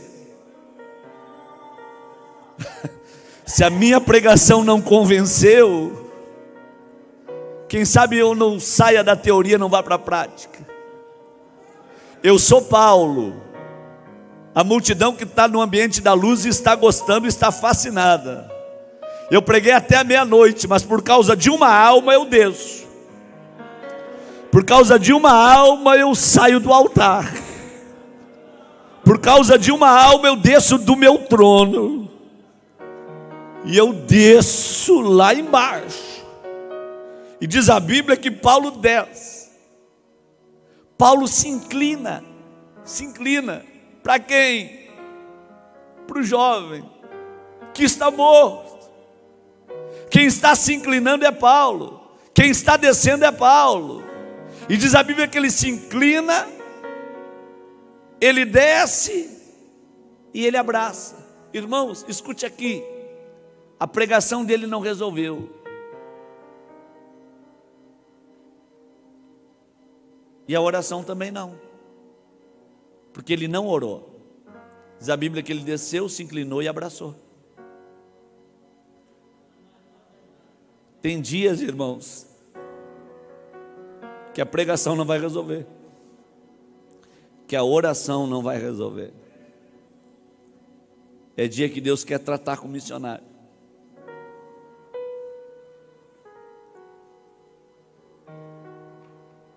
Mas a prática na vida de Paulo, ele desce, se inclina e abraça.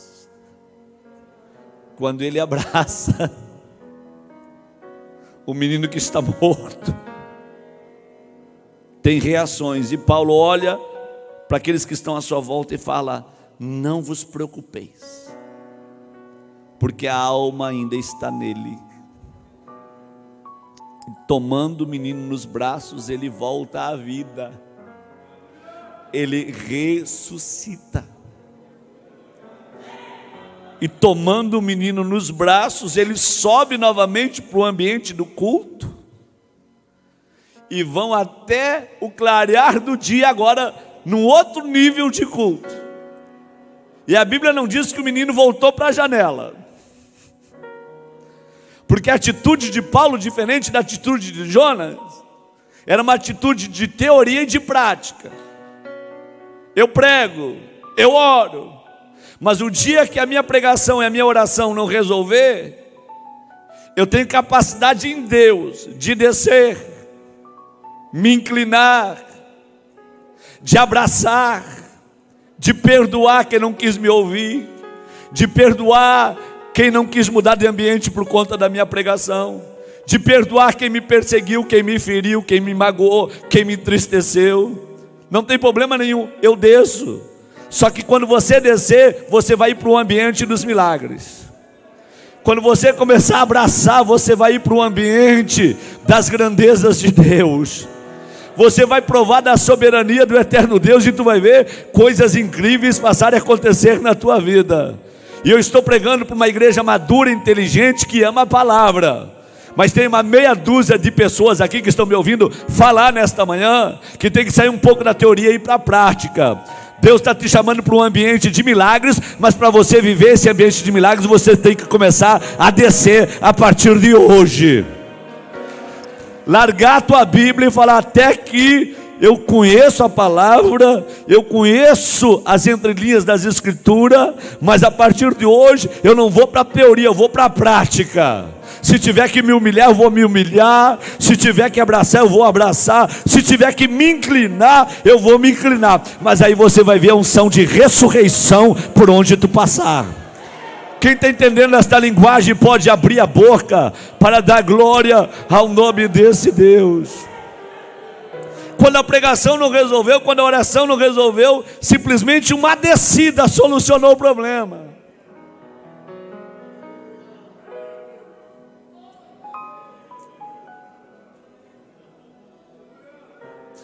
Eu fico pensando, como pode?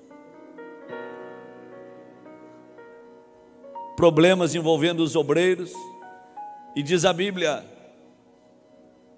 que os fariseus começaram a dizer que agora apareceu Jesus, que batizava e arrastava uma maior multidão que João Batista. Aí Jesus, estando na Judéia, ele deixa a Judéia e desce para Galiléia, porque ele queria lá solucionar o problema que os obreiros tinham criado.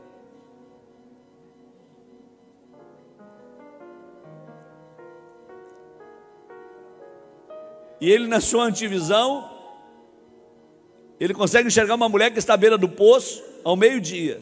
E ele se esforça para chegar lá. E ele chega lá cansado do caminho e se assenta. Os discípulos dele vão buscar alimento na cidade e pelo caminho que os discípulos vão, a mulher vem. Mas eles eram tão santos que eles não entregaram um folheto para aquela mulher.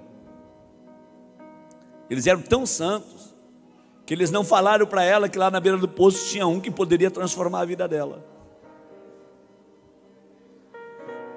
Eles eram tão santos que eles não falaram para ela que ela poderia sair da beira daquele poço transformada pelo poder daquele homem que estava à beira do poço. Eles passaram no silêncio para Sicar, e ela veio de Sicar para o poço e passou por eles em silêncio. Quando ela chegou na beira do poço, ela viu um homem que está ali cansado, mas estava na prática da pregação. Se cansou para dar descanso. se esgotou-se fisicamente para fortalecer os fracos,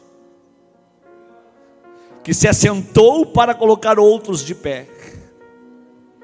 Quando ela chega, ela vê que é um judeu que está à beira do poço, e Jesus olhando para ela fala: Mulher, dai-me de beber. E ela pula na frente e fala: Será que tu não sabe? Tu não tem consciência que judeu não fala com os samaritanos? E Jesus, olhando para ela, entra na grandeza da prática. Se tu conheceras o dom de Deus e se tu soubesse quem é que fala contigo, tu lhe pediria e ele te daria água viva. E ela refuta, dizendo: Tu és porventura maior que o nosso pai Jacó, que tirou água desse poço, deu para o seu rebanho, dele mesmo bebeu, com toda a sua família. Aí Jesus diz para ela: Se tu beber da água desse poço, tu volta a ter sede. Mas se tu beber da água que eu, eu, eu, eu, eu. Jesus entra na alma daquela mulher, ela deixa o cântaro que ela trouxe, vai para a cidade com água viva. Os discípulos vão à cidade e voltam, sem prática, na teoria, não trazem uma alma, uma alma sequer, aos pés do Cristo. Quando a mulher sai do poço e deixa o cântaro, eu digo que Jesus restaurou algumas coisas na vida daquela mulher, restaurou o pedir. Ele falou para ela: se tu soubesse, tu lhe pediria. Restaurou o pedir. Ela já tinha pedido para muitos homens na cidade, muitas coisas mas agora ela está na frente do homem certo. Que não olha para a sensualidade dela, que não olha para o decote do peito, para as curvas do corpo, não olha para a altura da saia, não olha para nada disso. Para Jesus não tem uma prostituta, uma mulher da vida ali, não. Para Jesus tem ali na frente dele uma missionária que está cheia do Espírito de Deus, tomada pela glória de Deus, e que não vai viver uma teoria, mas vai viver uma prática. Os discípulos vêm, não trazem ninguém, a mulher vai e traz a cidade toda. Toda. Na prática. Jesus restaura nela o pedir, restaura nela o renunciar, porque ela vai com o cântaro, deixa o cântaro e volta sem o cântaro, ela renunciou. Restaura nela o testemunhar, porque ela falava outras coisas aos homens da cidade, e diz a Bíblia que ela voltando aos moradores da cidade, ela se dirige aos homens da cidade e fala para eles: Vinde verde. Eu encontrei um homem, certamente os homens da cidade devem ter pensado, encontrou mais um. Teve cinco que tem, não é dela? Encontrou o sétimo. Ela abre a boca e fala: Esse homem que eu encontrei lá, ele é diferente. Ele não quis um programa comigo. Ele não cobiçou o meu corpo, mas ele olhou para dentro da minha alma e ele encontrou em mim valores. Valores extraordinários que ninguém havia enxergado até o dia de hoje. Vinde verde. Jesus restaura nela o adorar. Quando ela vai sair do poço, ela fala: Eles lá em Samaria adoram no Monte Gerizim. Vocês, os judeus, adoram em Jerusalém. O que, que eu faço a partir de agora para adorar a esse Deus? Jesus fala para ela: Vou abrir a teologia da adoração. Já passei por Nicodemos, mestre da religião, e não encontrei nele um coração adorador. Mas agora aqui está, vou abrir a teologia da adoração, com uma mulher da vida à beira de um poço. O poço eu vou fazer de púlpito, tu vou fazer de multidão, eu vou abrir a teoria da adoração. É uma teologia que vai ser implantada a partir de agora. Não precisa pegar um avião e ir para Israel, não precisa subir um monte Gerizim. Agora, onde tu estiver, ali vai estar o altar, ali vai estar a adoração. Onde tu colocar a planta do teu pé, ali tu pode levantar os braços e começar a professar a grandeza do meu reino, e eu vou fazer da tua vida um verdadeiro altar de adoração adoração. A hora é chegada, é a hora agora, e que os verdadeiros adoradores adorarão ao Pai em espírito e em verdade. Pode ir embora, porque aonde tu passar, a presença do Espírito de Deus vai junto contigo e a adoração vai estar presente.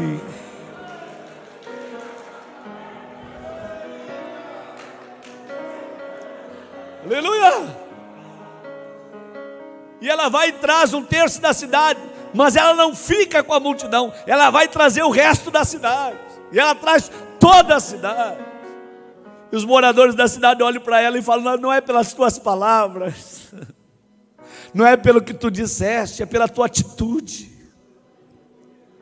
Tu teve compaixão de nós, tu poderia sair do, da beira do poço e ir para tua casa fazer festa por aquilo que tu recebeu, mas tu quis repartir agora é por aquilo que nós estamos ouvindo, por aquilo que nós estamos vendo. Realmente esse aí é o Cristo, esse aí é o Salvador do mundo. Se fosse um Jonas da vida, Sicar estava perdida. Se fosse por um Jonas da vida, aquele jovem, o Eutico, estava perdido. Mas ainda bem que aquele menino caiu na frente de um missionário.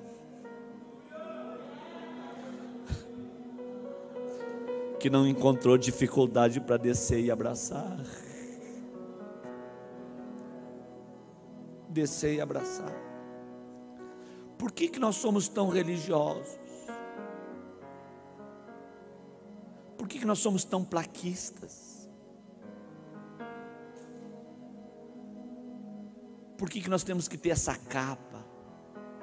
Essa capa.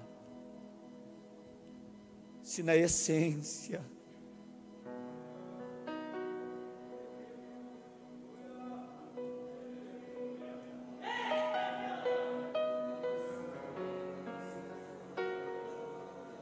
Uma vez eu peguei um telefone para ligar para o secretário do nosso campo de trabalho. Eu estava pregando o Evangelho e eu passei numa casa noturna onde eu vendia drogas, quando não era crente, é claro. E eu senti um desejo de falar do amor de Deus para as prostitutas. E eu caí na besteira de ligar para o secretário do nosso campo de trabalho e falar para ele. Passando na frente de uma casa noturna, eu senti um desejo de falar para aquelas mulheres que eu abastecia a casa noturna com drogas. Senti um desejo de ir lá falar do amor de Deus. Ele do outro lado da linha falou: está repreendido em nome de Jesus. O sangue de Jesus tem poder. Eu falei para ele, mas nós não temos que pregar o evangelho a toda criatura. Há tempo e é fora de tempo.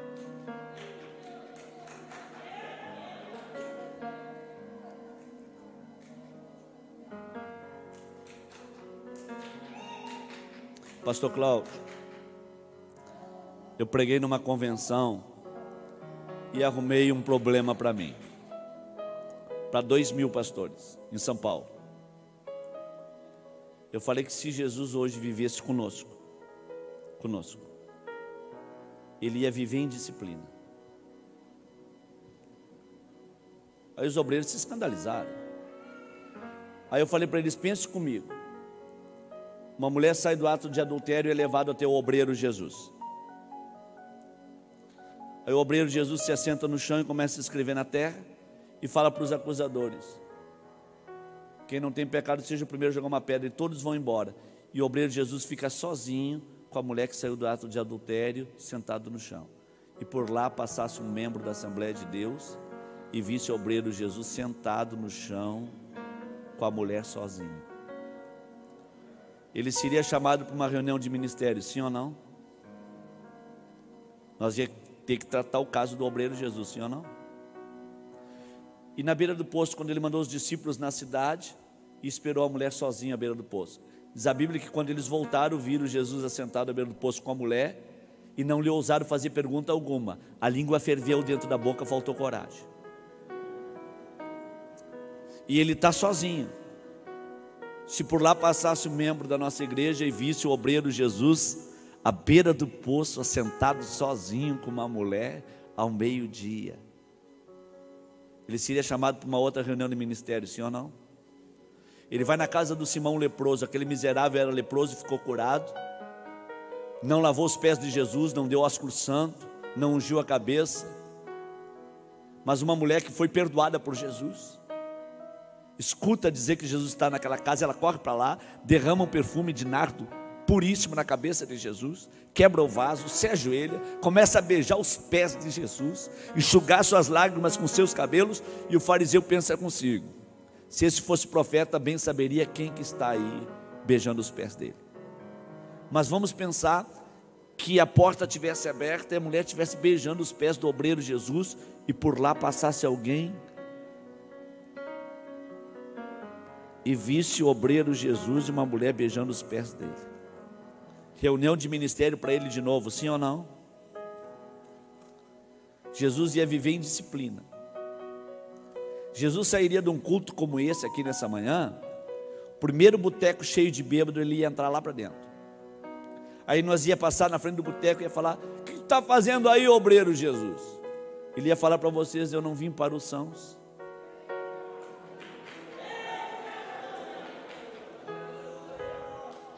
Eu vim para os doentes. Por isso que eu estou aqui no meio deles.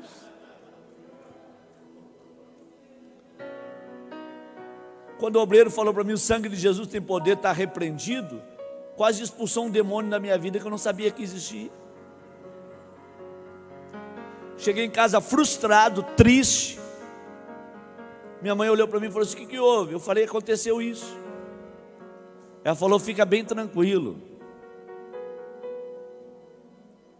Quem salvou a tua alma foi um doido que até hoje está dentro do hospício. Tu não deve a salvação da tua alma para ninguém, somente a Deus. Não deixa de cumprir a tua missão. Eu vou te dar uma dica. Hoje, quatro horas da tarde, tem jogo da seleção brasileira. E os crentes vão estar tudo na frente da televisão. Os mais santos vão abrir a porta do guarda-roupa e vão olhar na que está escondida dentro do guarda-roupa. Mas vai estar todo mundo na frente da televisão quatro horas da tarde. É a hora que tu vai pegar a tua Bíblia e vai lá. Que não vai ter ninguém na rua para te ver entrando em casa nenhuma. Eu falei, que ideia boa. Quatro horas da tarde, explodiu os fogos. Eu peguei a minha Bíblia. Cheguei lá e bati na casa. Quando abriu a porta, o dono da casa olhou para mim e falou assim: Sandro, o que, que tu está fazendo aqui, rapaz? Eu soube que até pastor tu virou. Eu falei para ela, porque eu virei pastor que eu estou aqui. E o que, que tu quer? Eu falei, eu quero falar um pouco daquilo que Deus fez na minha vida. E ela fala, só para mim? Só para mim que tu quer falar? Eu falei, não, de preferência para as outras mulheres com os namorados juntos. Sério? Eu falei, sério. Vai demorar muito? Eu falei, não, quase nada. É rápido. Ela saiu nos quartos chamando, veio aquela turma para o salão da casa noturna. E eu abri a minha Bíblia, me apresentei, ela me apresentou para os presentes. E eu li aquele texto da Bíblia: Pois o filho do homem veio buscar e salvar o que se havia perdido. As tuas práticas levou você ser abandonada por pai, por mãe, irmãos. Tu perdeu o amor, a comunhão, tu perdeu o relacionamento, mas eu te apresento alguém. Este é o filho do homem que veio buscar e salvar tudo que se havia perdido. Está perdido, mas ele veio buscar e ele veio salvar. E eu começo a pregar. E na loucura da pregação, ela olha para mim e fala: só um momento. Será que Deus pode amar uma mulher como eu? Que com 13 anos de idade fui violentada pelo meu tio. O meu tio, em vez de acreditar na minha virgindade, na minha fraqueza de menina e me respeitar, ele me violentou. E quando eu fui confessar para minha mãe, minha mãe deixou de acreditar em mim para acreditar no meu tio. Por conta disso eu me revoltei e fui embora de casa. Na minha maioridade eu me envolvi num roubo de carro, fui preso. Saí do presídio e vim para essa casa noturna. Tu acha que eu sou feliz em me deitar na cama com um homem fedendo? A cachaça, a droga. Tu acha que eu dou o meu corpo porque eu amo? O destino me trouxe para cá. E eu não sei quando eu vou sair daqui. Mas eu quero dizer que eu não fiz força para vir para cá. Eu caí aqui. Tu acha que esse Deus aí que tu está falando tem poder para amar uma pessoa como eu? Eu falei para ela: o filho do homem vem buscar e salvar o que se havia perdido. Ela olhou para mim e falou assim: dá para tu orar por mim? Eu falei: só se for agora. Ela caiu de joelho com outras mulheres e eu orei por ela. Quando ela levantou da oração, ela falou: Tem culto na tua igreja hoje? Eu falei para ela: Não tem, mas por tua causa eu faço um culto. Eu procuro aonde eu for, mas eu te levo. Se tu quer, nós vamos. Ela falou, então passa aqui sete horas da noite e me leva. E eu passei lá e levei ela para um culto numa congregação. Quando nós chegamos lá, o pregador da noite falou assim: Olha, irmãos, quando um homem tenta fugir de Deus e Deus tem um plano, Deus mexe com embarcação, com peixe, vai mexendo com tudo. E ele prega sobre Jonas. E quando ele está pregando, ele fala: Olha, e tem alguém nessa noite aqui que já tentou muitas coisas na sua vida, mas hoje chegou o dia que Deus vai acalmar o teu oceano, vai consertar a tua embarcação. Deus vai mexer com grande peixe, porque Deus tem um plano com a tua vida. Cadê essa pessoa? E ela levantou a mão e falou: Sou eu! Eu eu falei, é tu mesmo, vem para frente do altar. E ela passou lá na frente do altar e quando eu desci, eu falei, a paz do Senhor, minha irmã. Ela falou, o que, que é isso? A partir de agora até minha irmã. Falou com uma condição. O meu namorado está no presídio porque matou um homem com 12 tiros. O dia que ele se converter dentro do presídio, eu passo a ser de Deus. Falei, sem problema. Chamei uma irmã do círculo de oração, falei: vocês não estão em campanha de oração? A irmã falou: sim, estamos num sítio afastado da cidade, 3 quilômetros. Vamos fazer 40 dias de oração. Eu falei: convida ela, mas não se preocupa com a roupa dela, não. Não se preocupa com as roupas de sedução, não te preocupa. Não tenho medo de abraçar ela, porque vocês não vão pegar o vírus da prostituição. Abrace ela leve ela para esse ambiente de vocês. E a irmã criou coragem e convidou, ela falou: só à noite que eu não posso, mas se for no meio da tarde, é três horas da tarde, é a oração nona. Falei, então tá bom, então eu aceito. Ela foi lá para o sítio, não demorou 15 dias. O meu Jesus desceu lá no sítio.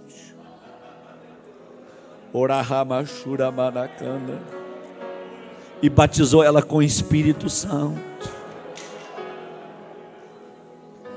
Nós fomos para o presídio fazer uma cruzada, encontramos o namorado dela cheio de tatuagem, mal encarado, falando eu soube que lá fora aconteceu um milagre, eu tenho pedra nos rins, vim para esse culto, e se esse Jesus que vocês estão pregando aí fizer um milagre na minha vida, me curar dessas pedras nos rins, eu vou me entregar para ele. Eu falei, bom, pediu pouca coisa.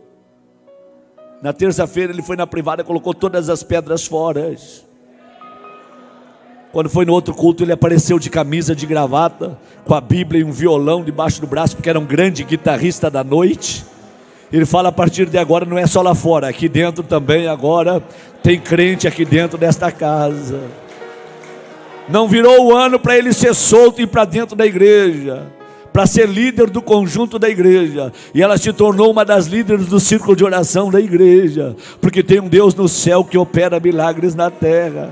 Não na teoria, mas na prática. Se você pode nesta manhã, levanta as duas mãos lá em cima em nome de Jesus. Abre essa boca que Jesus te deu e dá um brado de glória ao nome desse Deus. Se essa pessoa que está do teu lado tem um grau de parentesco contigo, por gentileza, pegue a mão dele agora, pegue a mão dela agora. Aperte bem apertada a mão dele agora, a mão dela agora, até ele abrir a boca e dar glória a Deus. Ai, calabashura manacanda yasura manahai. Levanta a mão desse guerreiro para cima, levanta, levanta a mão dessa guerreira para cima, levanta. Eu vou te dar 50 segundos para tu fechar os teus olhos e abrir a tua boca. 50 segundos só para tu fechar os teus olhos e abrir a tua boca. Quem tem glória, abre a boca e dá glória. Quem tem aleluia, abre a boca e dá aleluia. Quem é batizado com o Espírito Santo, receba agora a liberdade do céu que está aqui dentro deste ambiente. Quem não é batizado ainda abre a boca e dá glória a Deus e receba a unção que está descendo aqui agora. 40 segundos, fecha os olhos e abre a boca. Vai, abre a boca.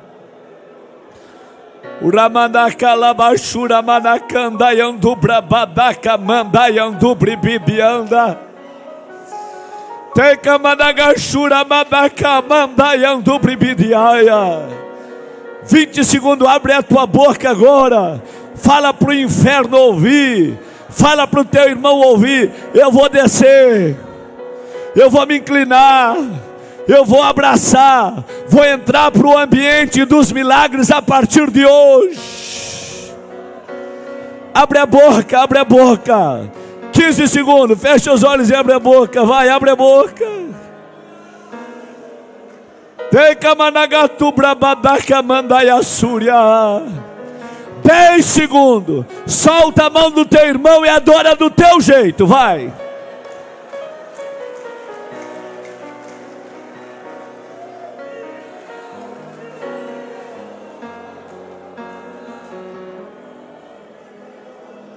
Do teu jeito. Uva brabadaca manda ayassura barra.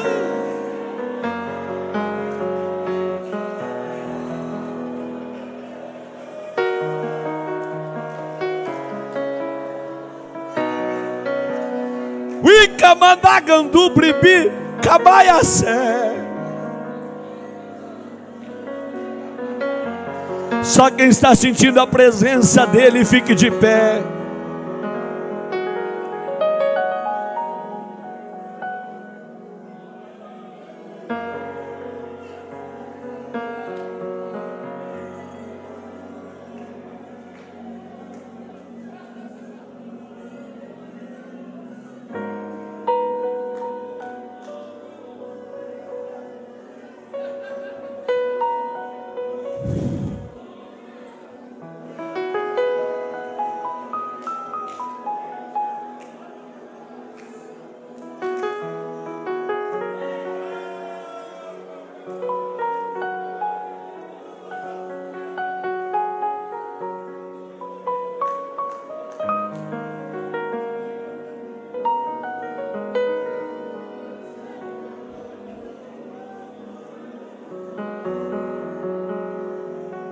Eu quero orar, não por todos, mas por uma meia dúzia.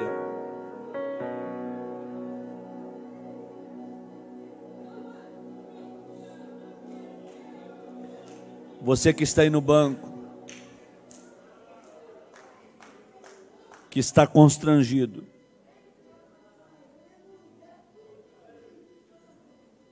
pastor, eu entendi tudo. Eu preciso ser melhor. Eu preciso melhorar.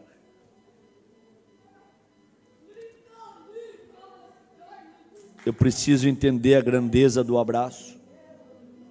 Que às vezes um abraço vale mais que uma pregação.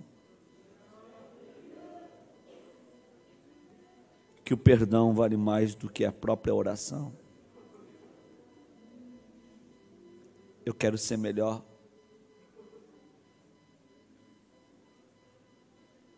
Eu sei que nesse ambiente 99,9% são tudo crente. Mas eu queria convidar você a aceitar Jesus de novo.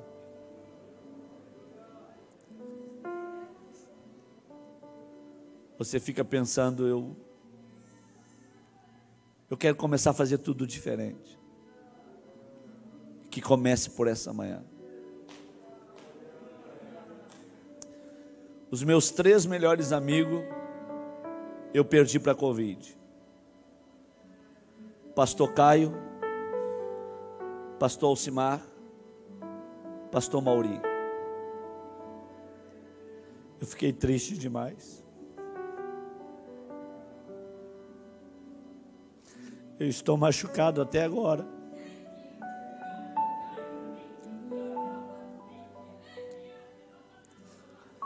Eu orei a Deus e perguntei por que, que ele fez isso.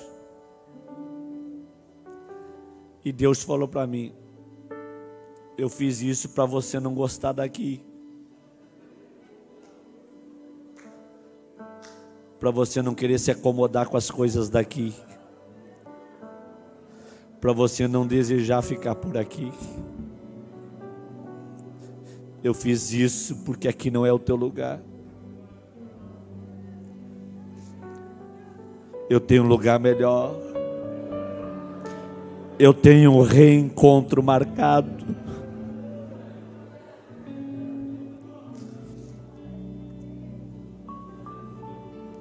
E eu quero ser melhor.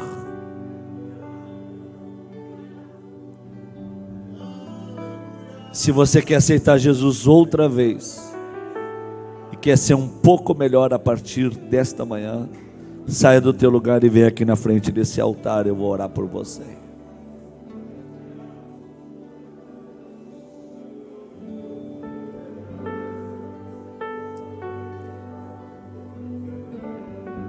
Pastor Cláudio, essa irmã é lá do Mato Grosso, de Matupá. Preguei nos congressos lá, grandíssimos da Assembleia de Deus. Pastor Albertino, um grande pastor. Ela está numa cidade vizinha, soube do congresso de missões e correu para cá. E Deus está tratando na alma dela nessa manhã, na alma está fazendo dela uma nova mulher nesta manhã aqui.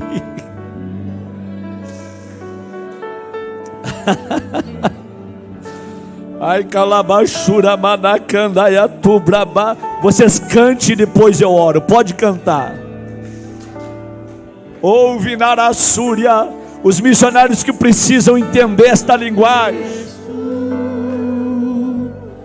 Tanto amor, eu não sou digno. Perdão, a dor que passou meu rei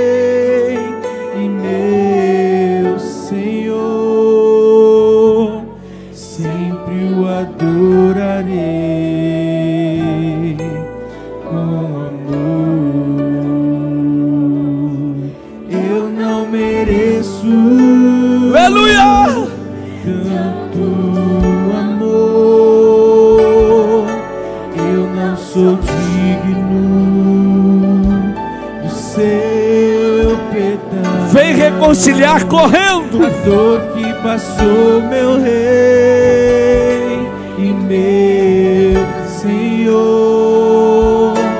sempre o adorarei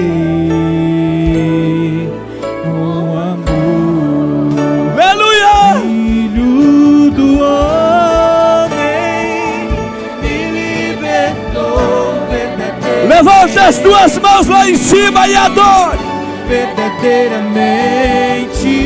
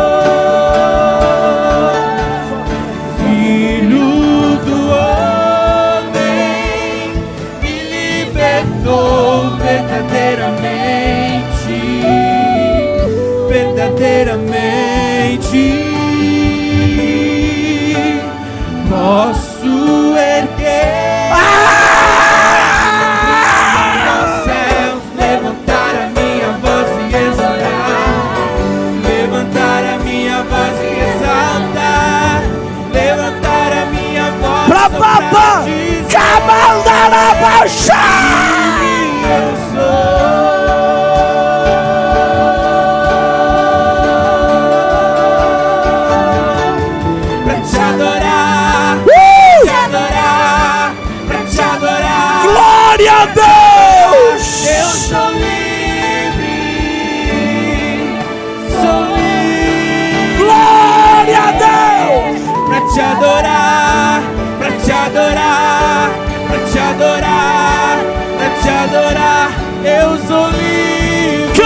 Canta, canta, sou livre.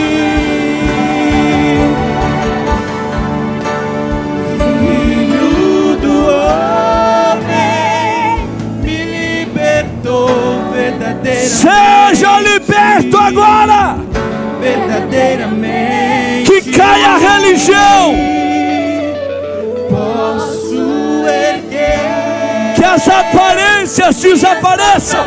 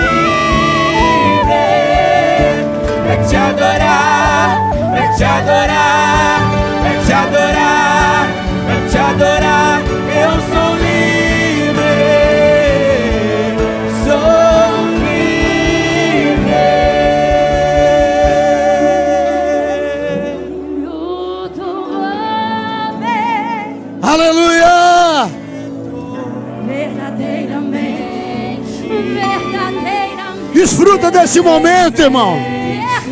Não perde esse momento, não. Mergulha na presença dele. Mergulha nele, mergulha nele, mergulha nele, aleluia.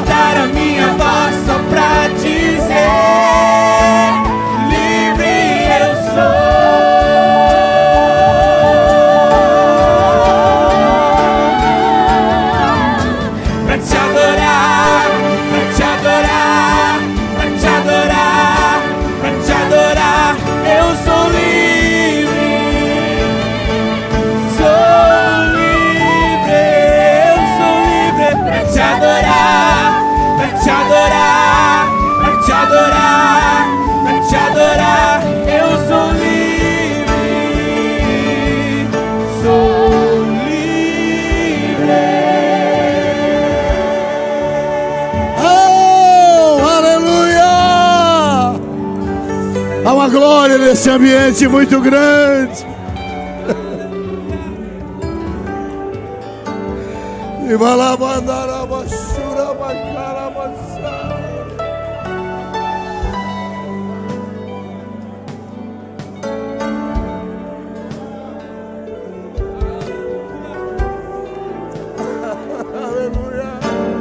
Aleluia, aleluia, aleluia. Derrama o teu coração na presença deste Deus. Abrace alguém que está perto de você. Rabacalabachandaraia. Oh, glória a Deus. Manhã de cura, meu irmão. Manhã de cura.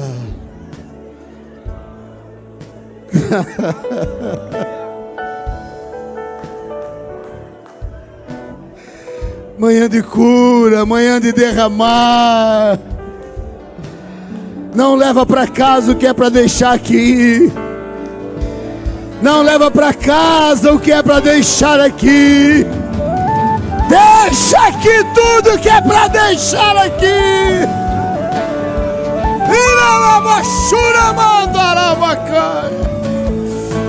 E mandaialabashara. Todo homem me libertou verdadeiramente, verdadeiramente. Posso erguer minhas mãos aos céus, levantar a minha voz e adorar, levantar a minha voz e exaltar, levantar a minha voz só pra dizer: livre eu sou.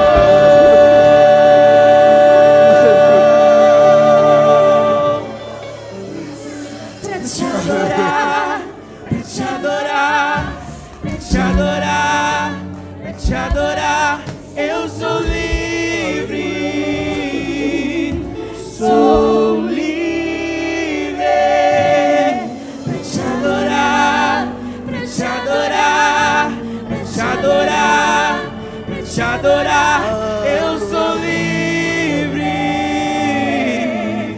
sou livre. Ei, glória a Deus, aplauda ao Senhor. Seu melhor aplauso, seu melhor glória a Deus. Faça barulho na presença desse Deus.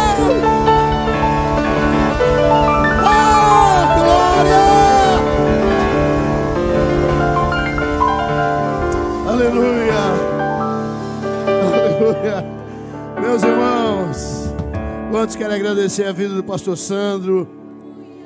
À noite tem mais, 18h30 nós estaremos dando abertura, 18 horas a oração, 18h30 a abertura do encerramento do nosso congresso de missões, marcado com glória, com poder. Meninos chorando, meninas chorando. O pastor Beto estava dizendo aqui para mim que há poucos dias atrás falou tudo que o pastor Sandro pregou aqui para nossa irmã que estava aqui na frente. Deus é tremendo, meu irmão. Deus chama daqui, chama de lá. E Deus traz tudo para o mesmo ambiente. Deus diz: É eu, sou eu que estou no controle. Sou eu, Senhor, que estou no controle. Aleluia.